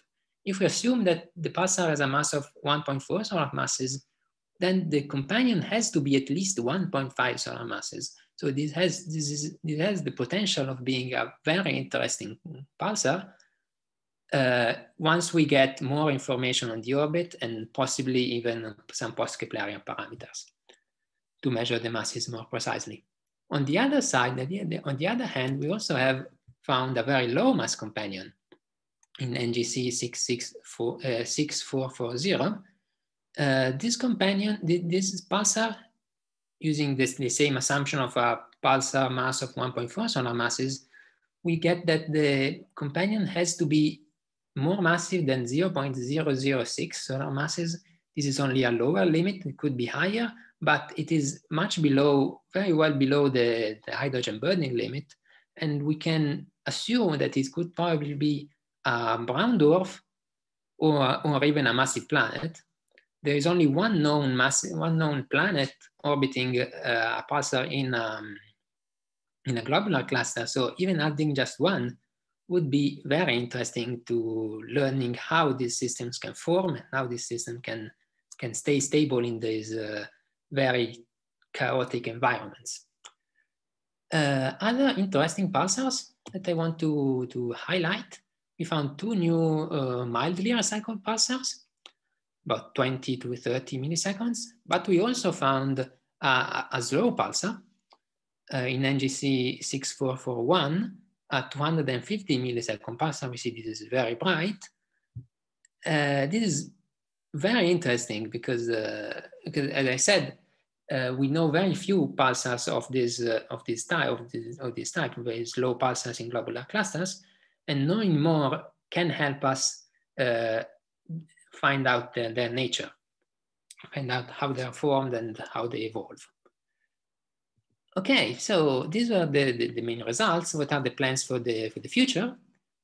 Well, on the TRAPUM side, we want to keep looking at these clusters and keep analyzing the data. These, these results that we've shown are not uh, fully, uh, full data was not already not analyzed.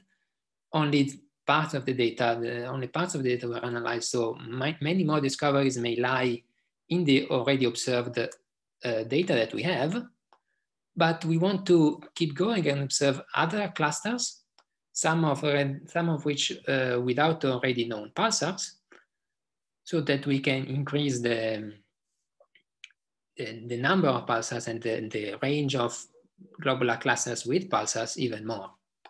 On the MeerTime side, uh, we, we want to look at these pulsars to measure the, the masses of, of binary pulsars. Want to characterize the eclipses. We want to study the properties of the clusters, like the gas content, magnetic field, and possibly look for uh, intermediate mass black holes and other projects.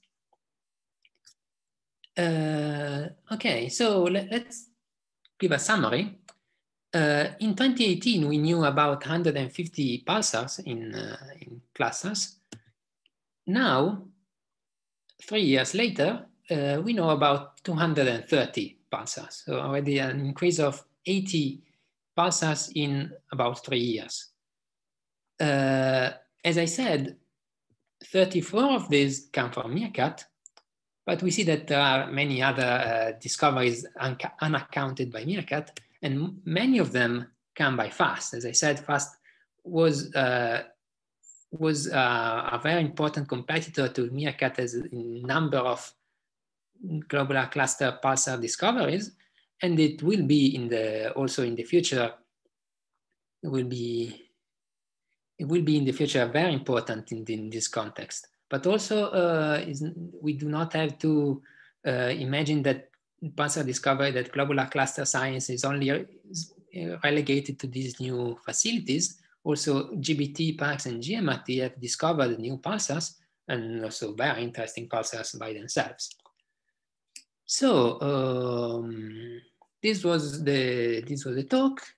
Um, remember to stay tuned and look at the TRAPUM and MeerTime website for updates on the, the discoveries. Publications on all of these discoveries are coming in the in the following months. So we hope to find even more exciting pulsars in the, in the new observations and in analyzing the previous observations. And this is all. So thanks. Thank you, Federico.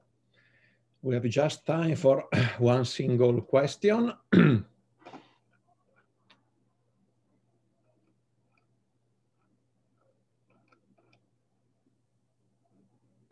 I don't see any. And uh, I have one then. Uh, uh, in your opinion, which, which are the most promising clusters for, for investigating the presence of intermediate mass black holes? Intermediate mass black holes are, um,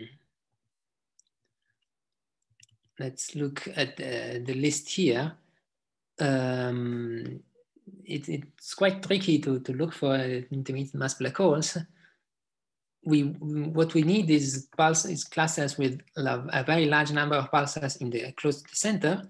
So probably the new the newly discovered pulsars in one NGC 1851 would be interesting, at least if not to find the uh, intermediate mass black hole to put stringent limits on the mass excess in the center. Otherwise, other other pulsar other clusters let me find it. Uh, we have uh, M62, which is very promising, just shown some interesting trends with only the, the previous uh, pulsar known. We also have uh, other, well, 47 Tuc is, al is always a, a, prime target for this kind of studies. And maybe NGC 6624, which is uh, also had some interesting history regarding pulsars and intermediate mass black holes. These are the main targets. Thank you, Federico. A great talk. And uh, uh, it's now time for uh, Michele Maiorano, uh, who can share the. Yes, I'm, sh I'm sharing the screen. Um, okay. He will talk about inclusion of global cluster uh, millisecond pulsars in, in uh, timing arrays. Mm, just a second. Okay. Do you see in my full screen? Sure. Okay. Do you see in the pointer? Okay. Yes. Although it's black on black. Okay, thank you. Um, today um, I am Michele Maiorano. Uh, I'm a PhD student from uh, University of Salento. And my presentation is about the advantages of the inclusion of globular cluster millisecond pulsars in pulsar timing arrays. So let me first uh, briefly introduce the, um, wh what are the pulsar timing arrays. A pulsar timing array is a simple a set of millisecond pulsars that are constantly monitored uh, from the Earth. Uh, what can uh, we we want to, to see in, uh, and we we want to see the difference uh, between the um, time of uh, arrival of each uh, pulse emitted by uh, these millisecond pulsars that are the most stable millisecond pulsars that we can observe and we want to see um, some difference between the observation and uh, the, what we can uh, predict uh, with a timing model. Uh, because uh, if the timing model uh, describes well what we observe, simply we have no timing residual that are the difference between the, the prediction and the, the observations. Uh, while we, uh, if uh, there are some uh, structures in timing residuals, we can say that there are some effects that are not included in the timing model. Uh, one of these effects can be uh, the presence of a gravitational wave because a gravitational wave can stretch or compress the distance between the Earth and uh, millisecond pulsars. Uh, and this uh, will cause a delay or an advance in the pulse time of arrival. Uh, so this make possible to use the pulsar timing arrays data to detect gravitational waves because the timing residuals associated with a gravitational wave uh, as um, uh, an exact uh, shape that depends that of, uh, on the type of the gravitational wave source that we are observing.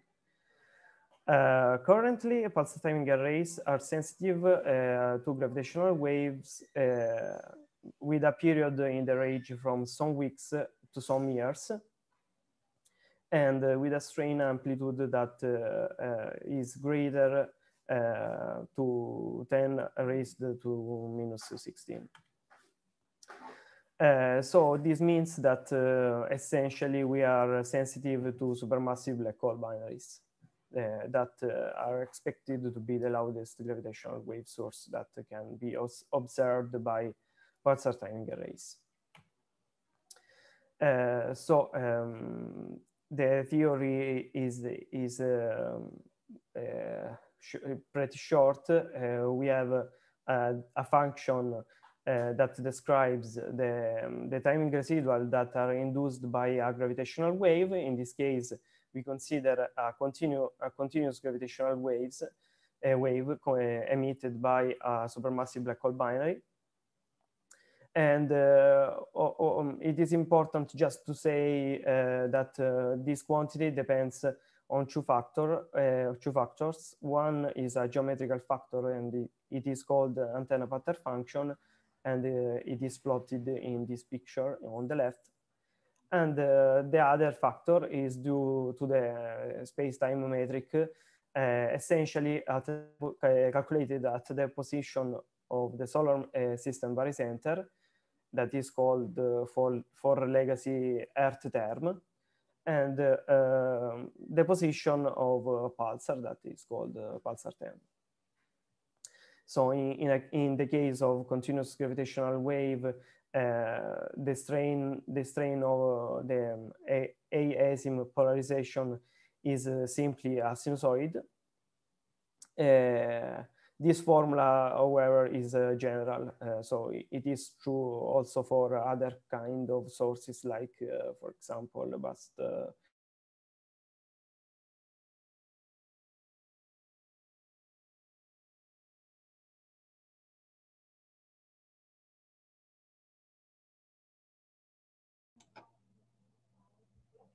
Michele?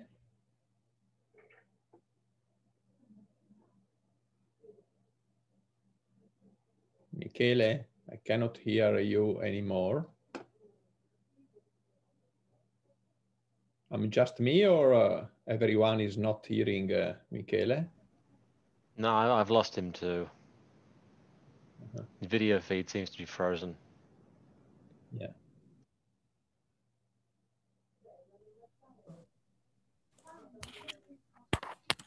Okay, Michele, I can see you, you again. Yeah, yeah. Okay. Now, yeah. So, mm, I had uh, some problems of connection. Sorry. No worry, no worry. Please go ahead. Uh, Restart from where you from where you were. okay. Uh, sorry. Uh, okay. I hope uh, that you hear me now. Yeah, yes, yes, go ahead.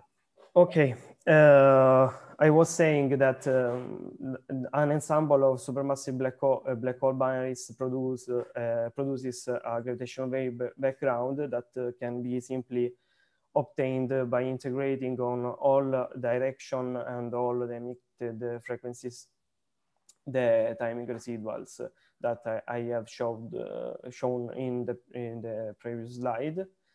And this is characterized by a characteristic strain spectrum that says uh, essentially that uh, we are sensitive uh, to, to low frequency gravitational waves. Uh, the, the main problem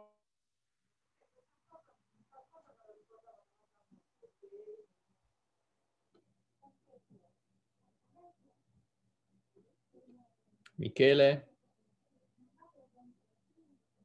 There are still troubles with your connection, I think.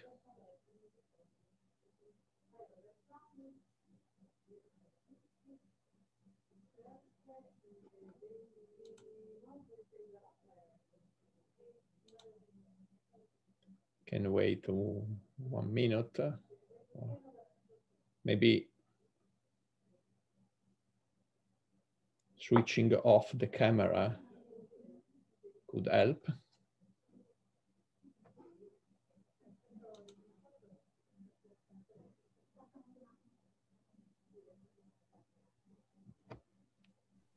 Looks like he's disconnected properly now. Yeah.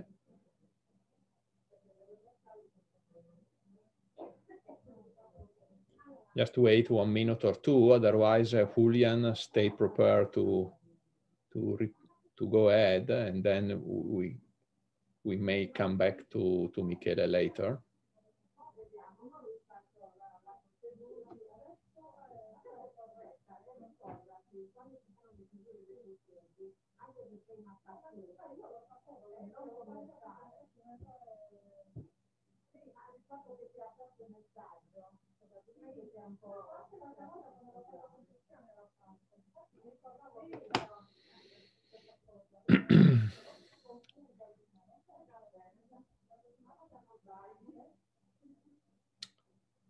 no signals yet from uh, Michele. So uh, I think, uh, Julian, you, you, are ready in case to... Yep, I can go now. we can go back to Michele if he comes back. Yes, I think uh, you, it's better uh, for you to go on now, and then uh, we will we will have uh, Michele's talk later. Yeah, maybe keep to time even. yeah. Um, okay. Can you see uh, that?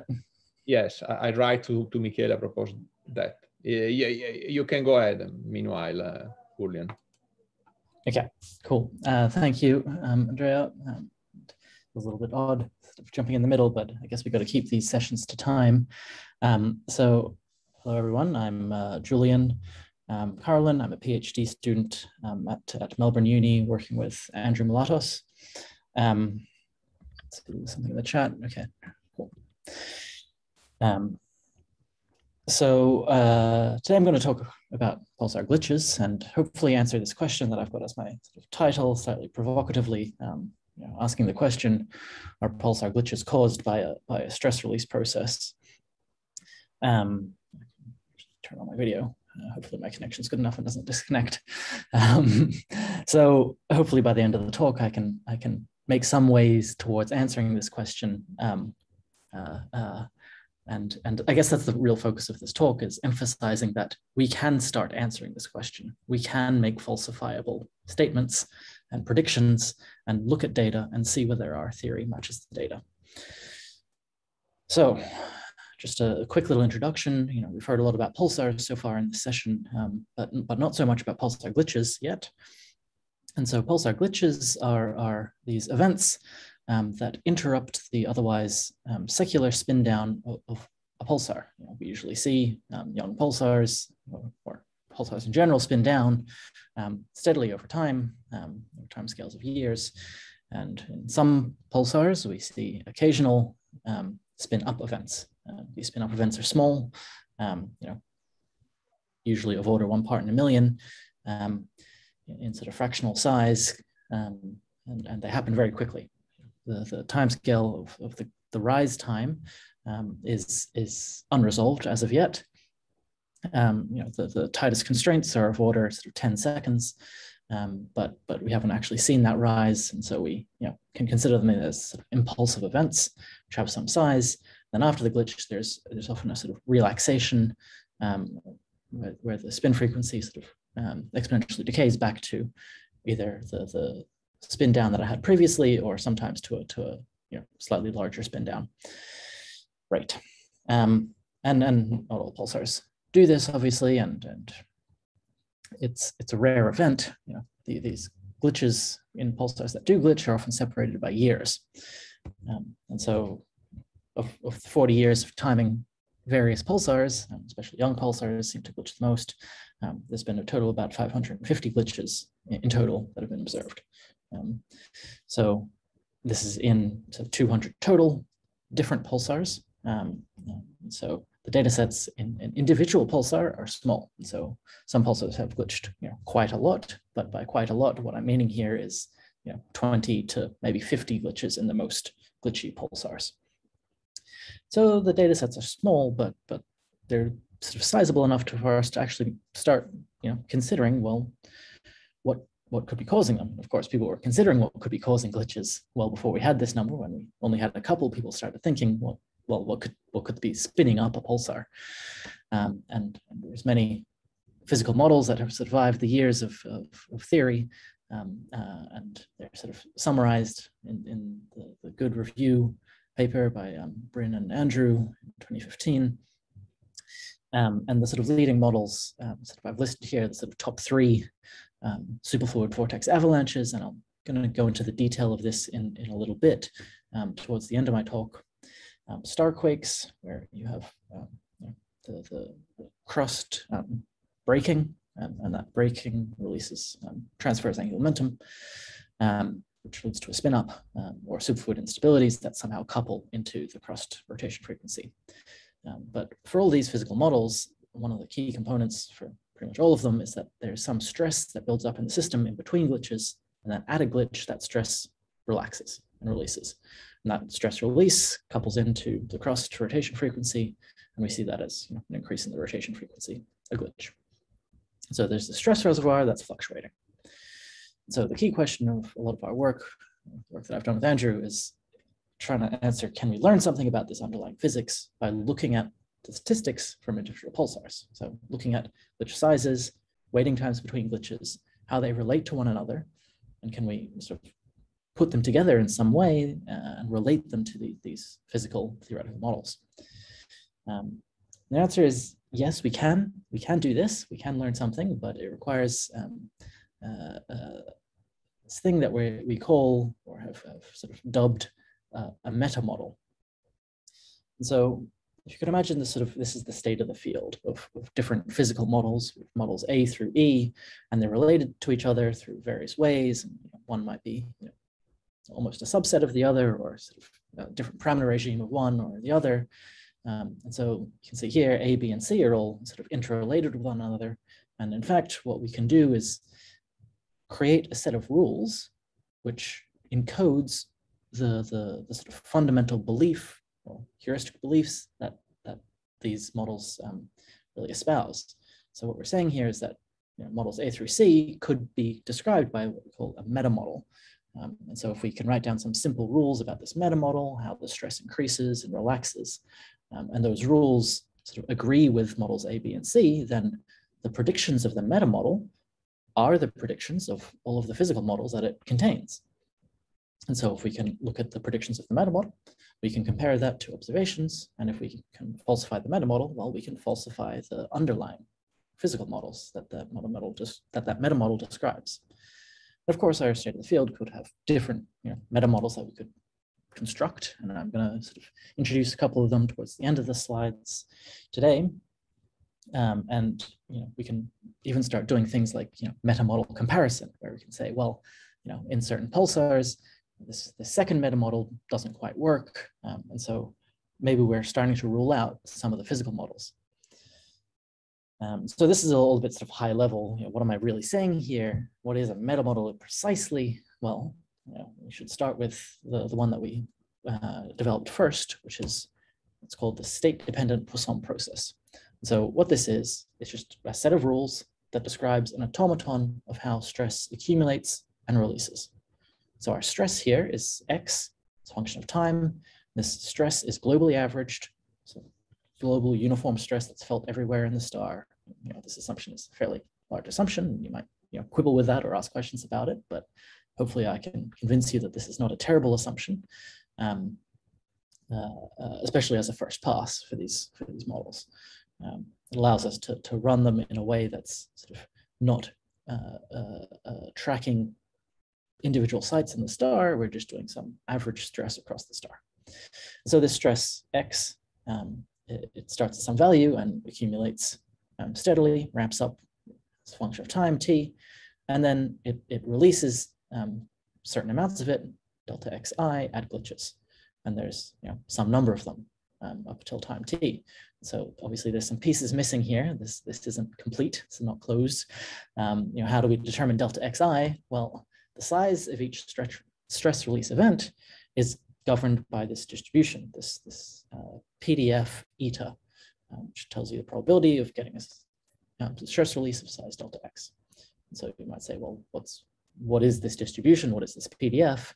And you know, the answer you know, at face value is that it's unknown.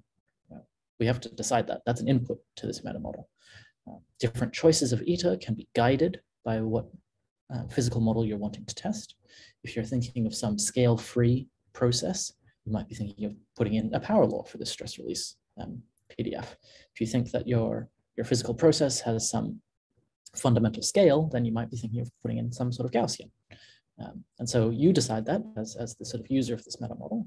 You can, you can tweak that as you see fit, um, but, but you know, at, at face value, it is an input parameter to the meta model soon see that there aren't actually that many knobs to tweak.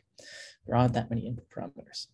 Um, and so we also say that this, this distribution is uh, depends on the stress just prior to the glitch. And we do this to make sure that we don't release more stress than is actually in the system at the time of a glitch, because um, we, we don't want negative stresses for, for obvious reasons, hopefully. So the other piece of the puzzle, the other way to make this automaton run is we need to decide when glitches happen. How often do they happen? You know, what, what causes the glitch? When, when do we decide to have one? Well, that's, this is what's decided with the state dependent bit of this, the state dependent Poisson. You know, why does it have this name? Is we're saying that uh, glitches are triggered stochastically, they're triggered randomly. We're saying that the, the waiting time um, is determined by a state dependent Poisson process.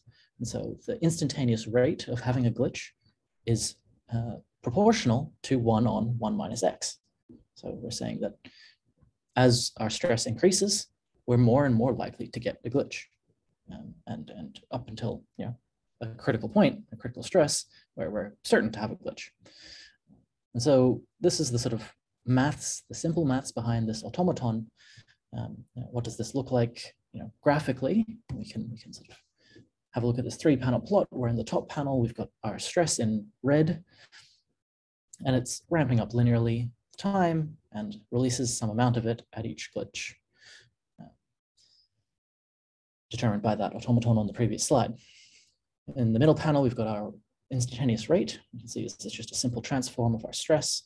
Uh, we, when we have higher stress, we have a higher instantaneous glitch rate. Excuse me, sorry. And then our, in our bottom panel, we're starting to see some potential observables. So I want to emphasize that we don't, we can't actually see the stress in a star, in the neutron star. All we can see are glitches. And really what we're boiling the glitches down to are the size of the glitch and the waiting time.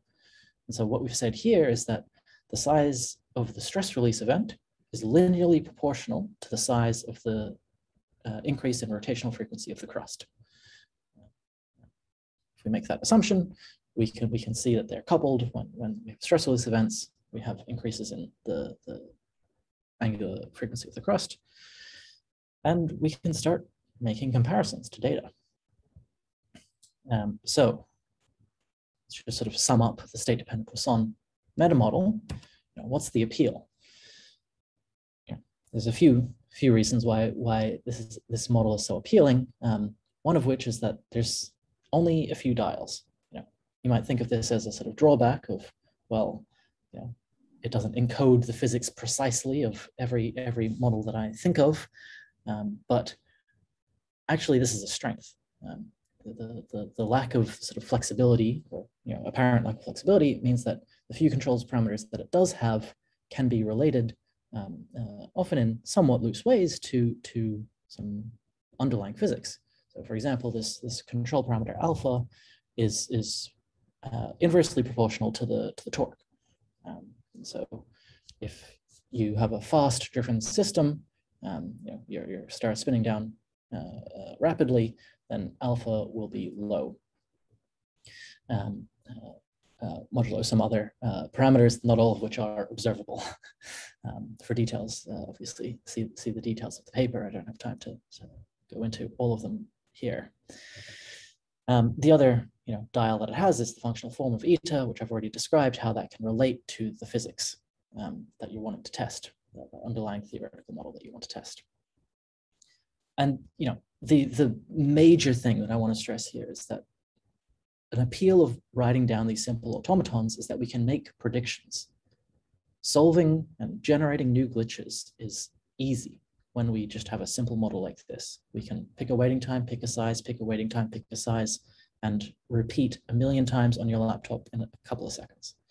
And so from that, we can generate um, predictions. Um, what, are, what is the distribution of waiting times? What is the distribution of um, glitch sizes uh, from this meta model? What are the cross correlations between the glitch size and waiting times, or even order correlations? So, you know, just to go into this a little bit, um, we should sort of first describe a little bit what we actually see in pulsars. Um, so first of all, let's let's describe you know these PDFs of uh, of waiting times and sizes. And so when we look in individual pulsars, we can generally, you know, broadly speaking, see two main classes. Um, and of course, there are some in between. Um, but but one of these classes of pulsars is these things sometimes called Poisson-like. It's because they have exponentially distributed waiting times. So you can see in these kernel density estimates of PDFs here in blue, um, the top panels. And then in the bottom panels, you can see that the size distributions, or the fractional glitch size distributions, are, are roughly speaking power laws for these Poisson-like class. Um, the other class of, of pulsar, of glitching pulsars are sometimes called quasi-periodic. It's because they seem to have some preferred scale for both the waiting times, um, you can see here with Vela, roughly three years, um, uh, and, and the glitch size distributions are also roughly unimodal. And so one key question is, can the state-dependent Poisson process generate these distributions or these shapes of distributions? Know, can we choose an alpha and an eta, and can we generate these PDFs? The answer seems to be, broadly speaking, yes. And this is without fine-tuning and without fitting.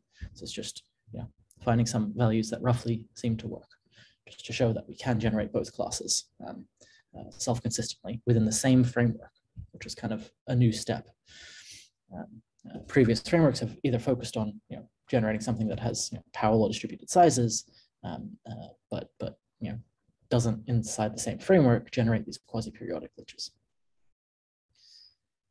Okay, so that's one potential observable, these, these PDFs. Another one are, are cross correlations. Um, and so the intuition we should be having here is that, well, we've got... You, you have still eight minutes to go. Okay, cool. Um, the intuition that we have here is that if we have a large glitch and we're you know, emptying our stress reservoir, well, maybe we're going to have a large waiting time after that to fill up the reservoir again before likely have to, to have the next glitch. This would mean that we have a forward cross correlation large glitch, large waiting time. Yeah. We might also say, okay, if we had a large waiting time, maybe we built up a lot of stress during that time, we're more likely to have a larger glitch because we have a larger stress reservoir to, to empty. This would result in a backward cross correlation.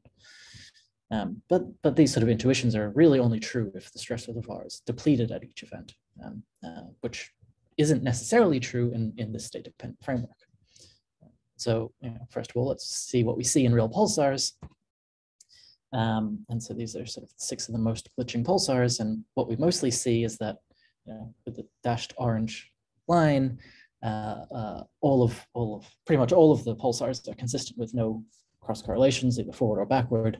There are a couple that have some forward cross correlations that are you know, inconsistent with zero, but but obviously more data are needed to, to make this more certain. And 0537 being the the exception in a lot of ways, as always. Um, uh, I don't have time to go into why we've plotted them with this abscissa, um, but, but uh, feel free to ask me in the question time. Um, so what do we see from the state-dependent Poisson process? Do we generate forward and backward cross correlations ever? The answer is yes, but it does depend on alpha and eta. You know, I've got two different alphas in the left and right panel, uh, two different etas in the left and right panel, and plotted as a function of alpha here, the forward and the backward. you can see in different alpha regimes, we'll get a certain combination of forward and backward cross correlations. So this is the one of the key strengths is that we've actually got a combination of tests that we can apply to observational data to falsify or try to falsify the meta model. So let's do this. Let's combine the tests. You know, let's pick 0537 as our, our favorite pulsar with most glitches. Um, so we need to find a regime of the meta model, which can predict all of the long-term stats I just talked about, you know, waiting time distributions and glitch sizes. And you can see that you know, blue is the observation data, orange is our, our uh, meta model with a certain input alpha and eta. Um, that seems to match okay. Uh, uh, and then in the, the right panel here, I've got the, the cross correlations.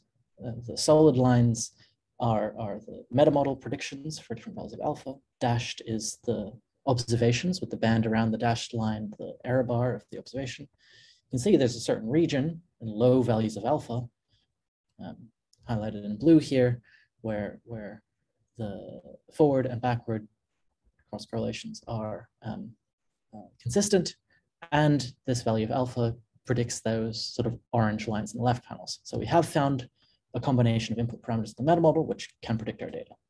But I have to say that this is not always possible. This is not always possible for all pulsars, for all the glitching pulsars, or for all meta models. The state-dependent Poisson process, turns out, is fairly flexible. It allows for a broad range of of combinations of observables, but um, it's not infinitely flexible.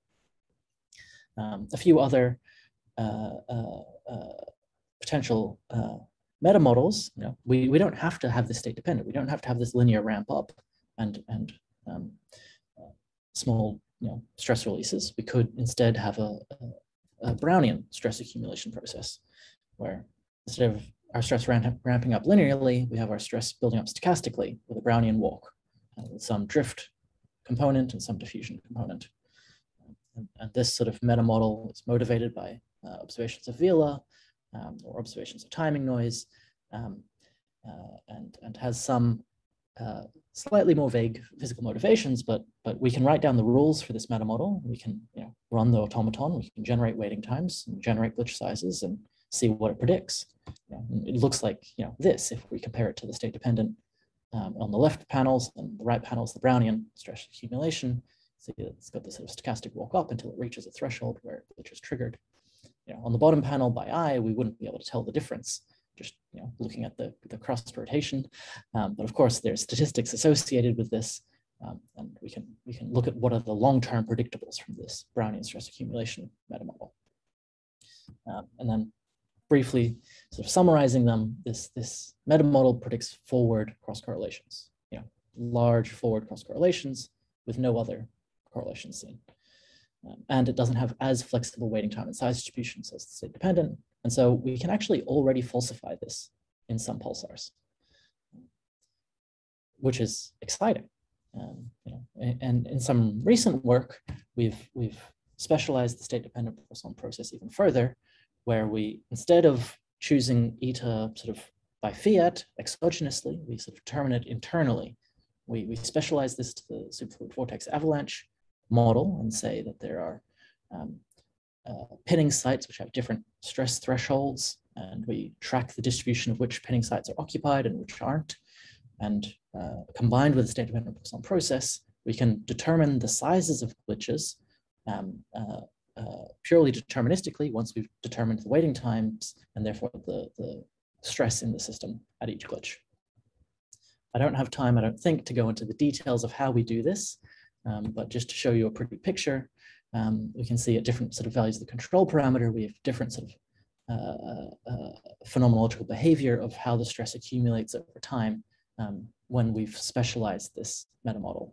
Um, and again, like the Brownian stress accumulation metamodel, we might have already falsified it um, because this metamodel, eh, for many, many um, combinations of possible control parameters, doesn't, uh, the, the, the, the metamodel predicts forward cross correlations, and we broadly don't see that in many pulsars. Um, and again, like the Brownian stress accumulation one, has, has somewhat hard to reconcile PDFs of waiting times and sizes. And there are, um, of course, telltale, telltale signatures of this and the other meta models, um, which we can look for in actual observational data. And so to quickly conclude, apologies for going slightly over time, um, the, this idea of meta modeling, you know, these phenomenological models of stress accumulation and relaxation provide a mathematical framework to predict, to make predictions that are falsifiable, that we can relate to actual observations of glitch waiting times and sizes. And you know, for the for maybe not the first time, but in a very precise way, we can link theoretical models to observations, um, not on individual glitches, you know, not looking at sort of detailed, you know, how the how the frequency evolves at the glitch itself, but looking at a sequence of glitches. And so we've provisionally falsified both the Brownian stress accumulation and this uh, specialization uh, into the, the superfluid vortex meta model. Um, and, and this provisional falsification means that at least one of the following statements are true. Either our glitch data sets are incomplete, and work has been going, going into trying to make, trying to quantify this, trying to work out what is the smallest glitch we can see. Um, and for more details on that, see uh, Liam's talk uh, uh, later in the week, I think on Friday, Liam Dunn. Um, sorry for not having a link here. Uh, so either the glitch data sets are incomplete, or we have actually falsified the, the stochastic stress accumulation idea. Glitches are not triggered by that, maybe, or they're not triggered by superfluid vortex avalanches. That, that is one possibility. Or maybe we've missed some fundamental detail in, in these physical models, which impacts our predictables in, in a non-trivial way. maybe the, the spatial correlations between sites are important, um, and our globally average stress maybe doesn't capture this adequately. Um, and so there are a few possibilities here, but, but you know, importantly, one of these possibilities is that we've falsified the, the you know, belief that's widely held in the literature that glitches are triggered by superfluid vortex avalanches. Um, and thank apologies you. for going slightly over time, but thank you. Thanks, uh, Julia, for this inspiring talk. Uh, just checking if there are questions. I was just wondering, uh, how many glitches you really need uh, for giving a statistical, uh, uh, statistical meaningful uh, answer to, your approach for for for for a, a, given pulsar or for the whole. Ensemble? Yeah, it's it's it's a good question. Um, so the answer is if we want to falsify them, you know, we can make do with just the 20 glitches that we've seen in some pulsars. In some pulsars, we have already falsified some meta models. Um, if we want to do um, uh, parameter estimation, you know, actually sort of precisely estimate the parameters of these meta, models, this has been sort of attempted, and sort of initial attempts have been have been done um, by Andrew and um, uh, uh, one of his former students, uh, Lisa Drummond. Um, uh, and the answer is it's tricky, and you probably need of order hundreds of glitches to be able to be better at predicting the future than if you had just assumed a, a simple Poisson model. Uh, uh, but but uh, yeah, that's the rough number. You're looking for hundreds of glitches to be to making really to be able to make really precise statements for each specific source. Of course. Yeah, in an individual pulsar. Yeah. Okay. Um, it's it's it's trickier to combine data from different pulsars because they may have different fundamental parameters that are determining how this meta model evolves. You know, there the spin down rate might be really important, but also say the temperature or uh, or other properties that could affect things like the pinning strength of pinning sites, um, which might vary pulsar to pulsar, which yeah combines in a, a, potentially tricky way to, to produce one of the, the parameters of the meta model. Thanks, Julian. Thanks again. uh, there will be other talks about a similar uh, subject in the in the Friday session um, uh, of Neutron Star 3 plus Neutron Star 5. Um, uh, at the moment, we have to come back to the now last one uh, contribution of this morning, uh, European morning. Um, come back to Michele Maiorano.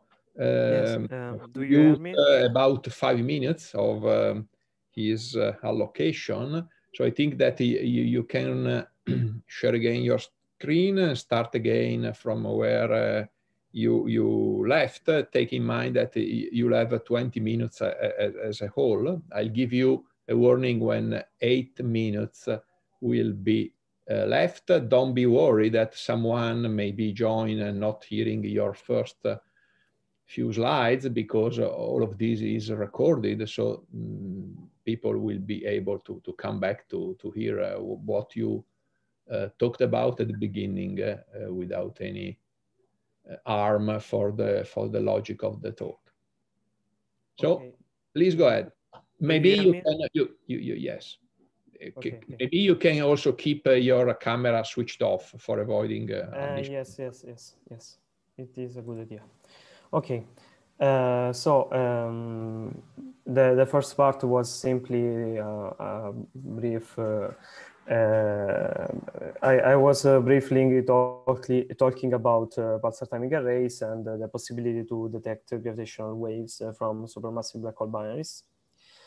Uh, so this is possible uh, just uh, uh, only if we have um, a lot of pulsars, because uh, with a single pulsar, we, we can't um, say that the timing residuals that we, we observe are due only to gravitational wave signal or if they, they are due to other effects, um, other kind of effects.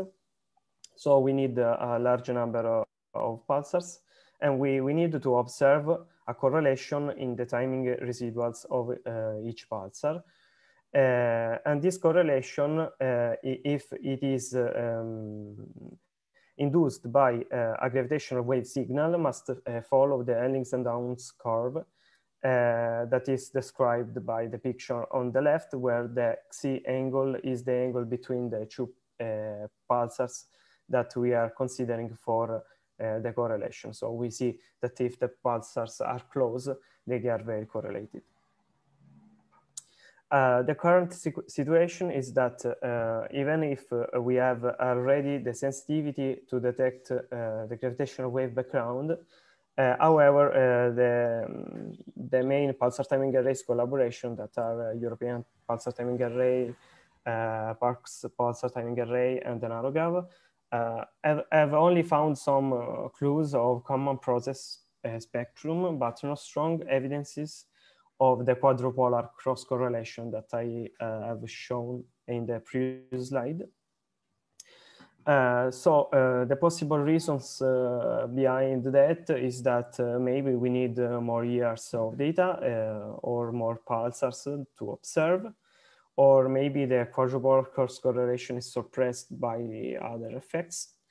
And the, the worst scenario is the last parsec problem is real. The last parsec problem can be explained saying that uh, supermassive black hole binaries to reach the coalescence phase um, uh, uh, as to lose energy. these lose energy by dynamical friction, but um, in the last step, dynamical friction is not enough to to shrink the, the binary and uh, the gravitational wave in this step uh, is um, are still not not active. Uh, so this is the last parsec problem. So we don't know how uh, the binary uh, reach the separation needed to uh, produce the gravitational wave that we want to observe. so we need another other tools uh, to confirm uh, that the correlation that we observe uh, are due the gravitational waves. we need another smoking gun, let's say. So one possibility is to, to return back to the theory. Uh, we can notice that uh, the correlation function came uh, from the ensemble average of the pulse uh, shift caused by uh, the, the, gravitational waves. Uh, in the standard approximation, the K factor um, that you can see uh, that is dependent on the pulsar term and the Earth term uh, it goes to one because uh, in the standard approximation, um, the pulsars are, are not uh, correlated because are in two different places of the space-time. But um, what, what happens? what happens if we consider two pulsars that are very, very close? It happens that uh, the correlation um, it, it is double uh, with respect the, the, with respect to the previous one. Because in this case uh, since the the two pulsars are in the same place uh, the correlation uh, the, the pulsars are correlated of course so this is a special case, but uh, maybe it is not so special because uh, even if uh, the probability to have two millisecond pulsars in almost the same position, the space is uh, zero by chance. Uh, in the globular cluster uh, clusters, we have a lot of millisecond pulsars um, enclosed within a sm very small radius from their center.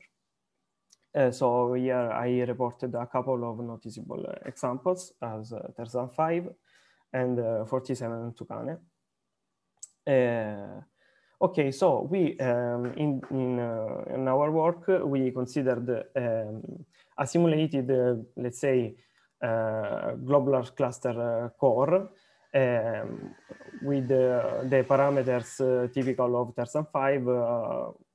So we used uh, 5.9 kiloparsec uh, the, for distance. Uh, we used 0.16 arco minutes for the core radius, and we used um, 15 millisecond pulsars. so we simulated uh, the scale coordinates of uh, the globular cluster of uh, the each millisecond pulses um, enclosed in the core. Uh, so, uh, and also we simulated uh, a population of supermassive black hole binaries. Uh, and uh, using the, the formula on the left, on the right, we calculated um, the induced gravitational wave timing residual of each supermassive black binaries on each pulsar of the um, globular cluster. Uh, in this case, we used the, uh, the non-evolving binary approximation. So um, in, uh, in our case, is justified because we can say that the supermassive black hole binaries binary don't evolve, doesn't evolve Uh, in the time, uh, in the travel time of the um, emitted uh, pulse from the millisecond pulsar to the Earth. So uh, these are the distribution uh, of uh, the chirp mass, the distance and the frequency that we have considered.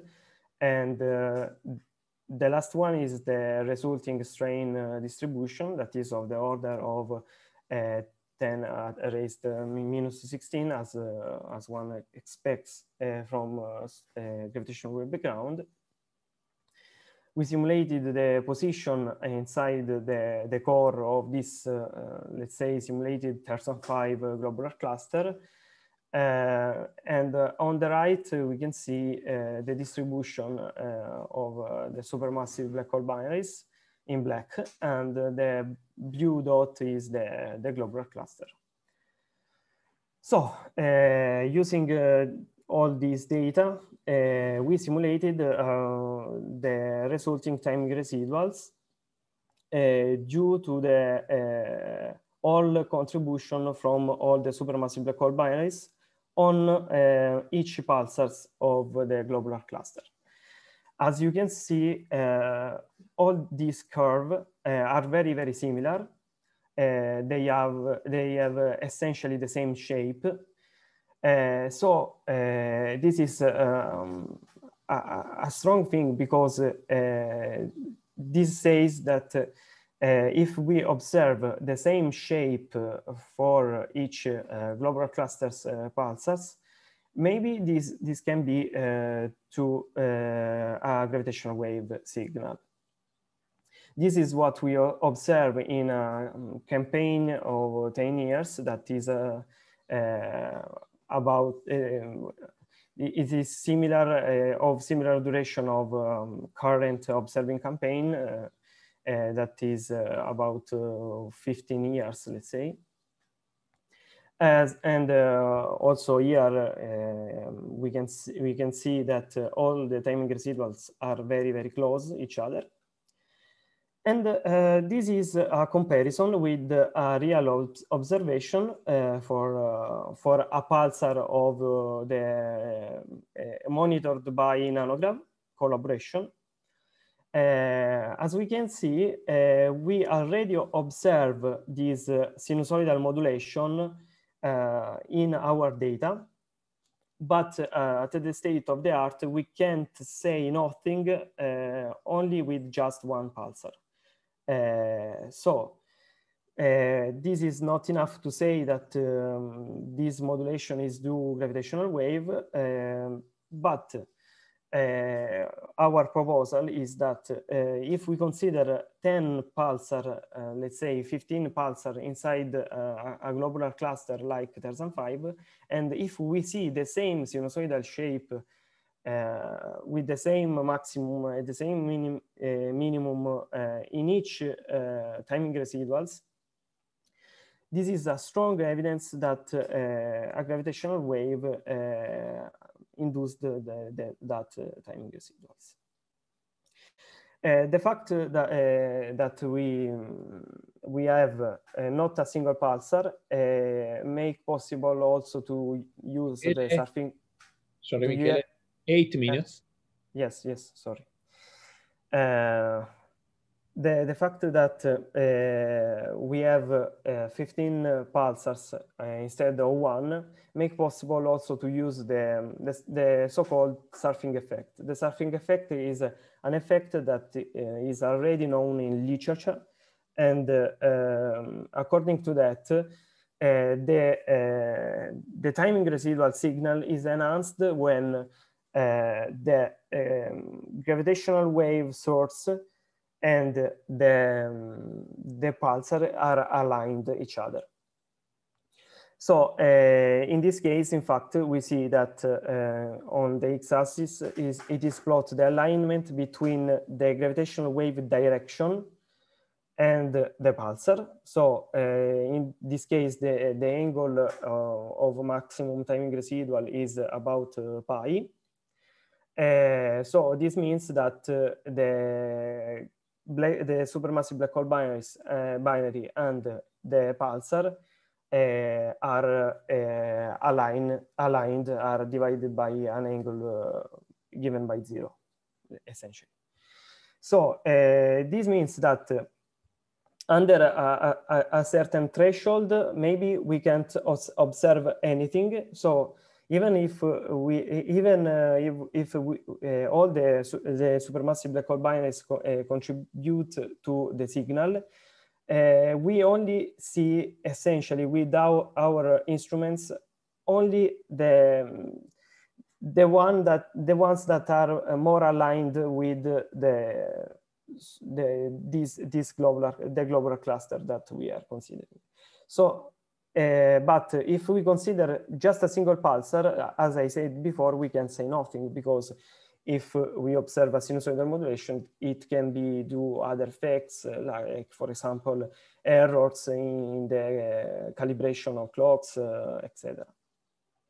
So uh, this uh, this effect may help to also to localize the, to localize a single continuous gravitational wave source. So, uh, of course, uh, uh, until now, I considered all the, advantages, but of course, there, there are other complications due to the fact that the um, globular cluster has a, a gravitational field uh, that can uh, influence the millisecond pulsar uh, dynamics. So it has be eh, it has to be modeled with uh, an high, high degree of precision. And uh, uh, also there is another problem due to the fact that uh, the pulsar in used in pulsar timing arrays are usually very very close, while globular cluster are more more dis more distant uh, so the dispersion measure, measure is more important in this case. So we have uh, some problems. Uh, in fact, uh, until now, globular cluster pulsars are not included in uh, pulsar timing arrays, but um, we hope that in, in the future we will be able to, to overcome these problems.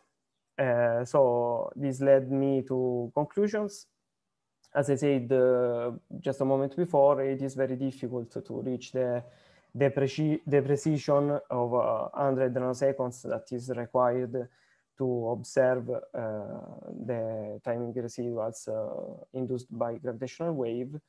But uh, next generation radio telescopes, right, like, the, for example, the square kilometer array, may improve the time accuracy to the up to the, the required level. Uh, so uh, using instead of many pulsars in different position of the sky, using um, a globular cluster that contains many pulsars in a, a very, very small angle will help uh, both the gravitational wave background detection and uh, maybe the detection of continuous gravitational waves. So thank you. Thanks, Michele. Very interesting talk. Uh, so time, we have uh, four minutes of time for questions.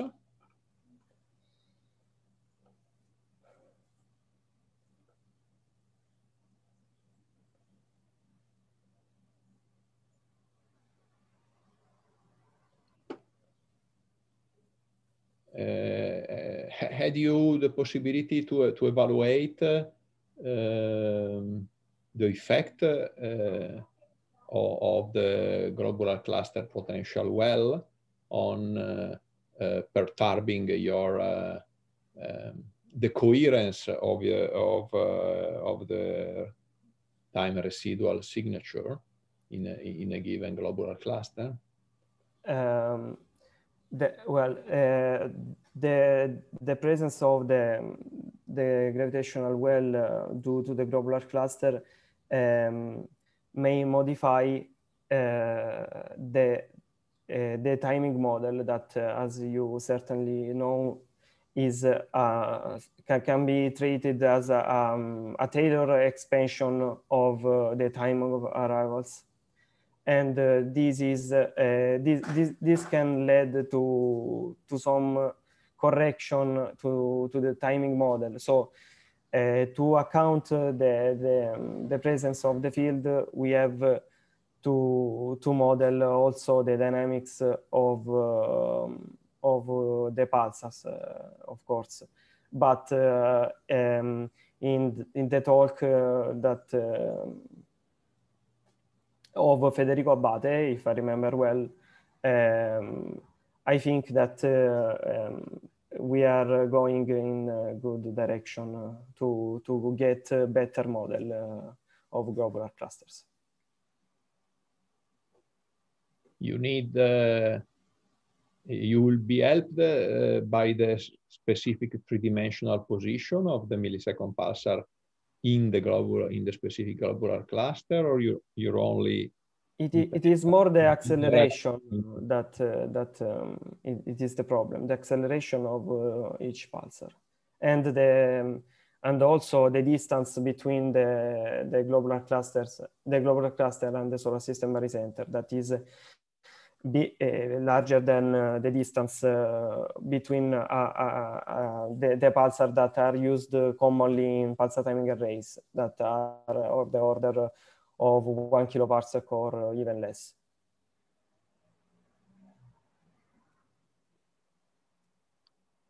Thank you, Michele.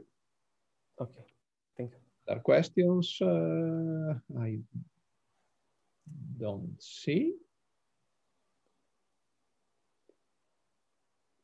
in, in that case, uh, I think uh, it's time for a uh, thank Uh, for thanking again all, all, the speakers of this uh, very interesting uh, session. We touched the many different aspects of pulsar science, and so applause to to everyone. Um, I'm also happy to see that uh, we, we have reached uh, a good attendance to this uh, meeting, more than 20 people sometimes, and more than 15 uh, uh, in average.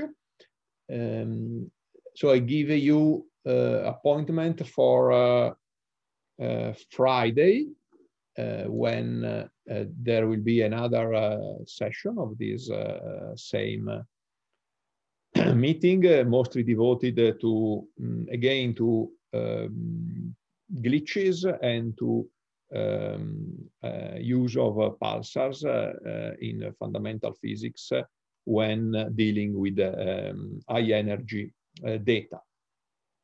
For the, for the time being, I think after having uh, saying hello to, to you all. We can close uh, this uh, session and have a nice day or night or evening, everyone. Thank you. Thank you. Bye.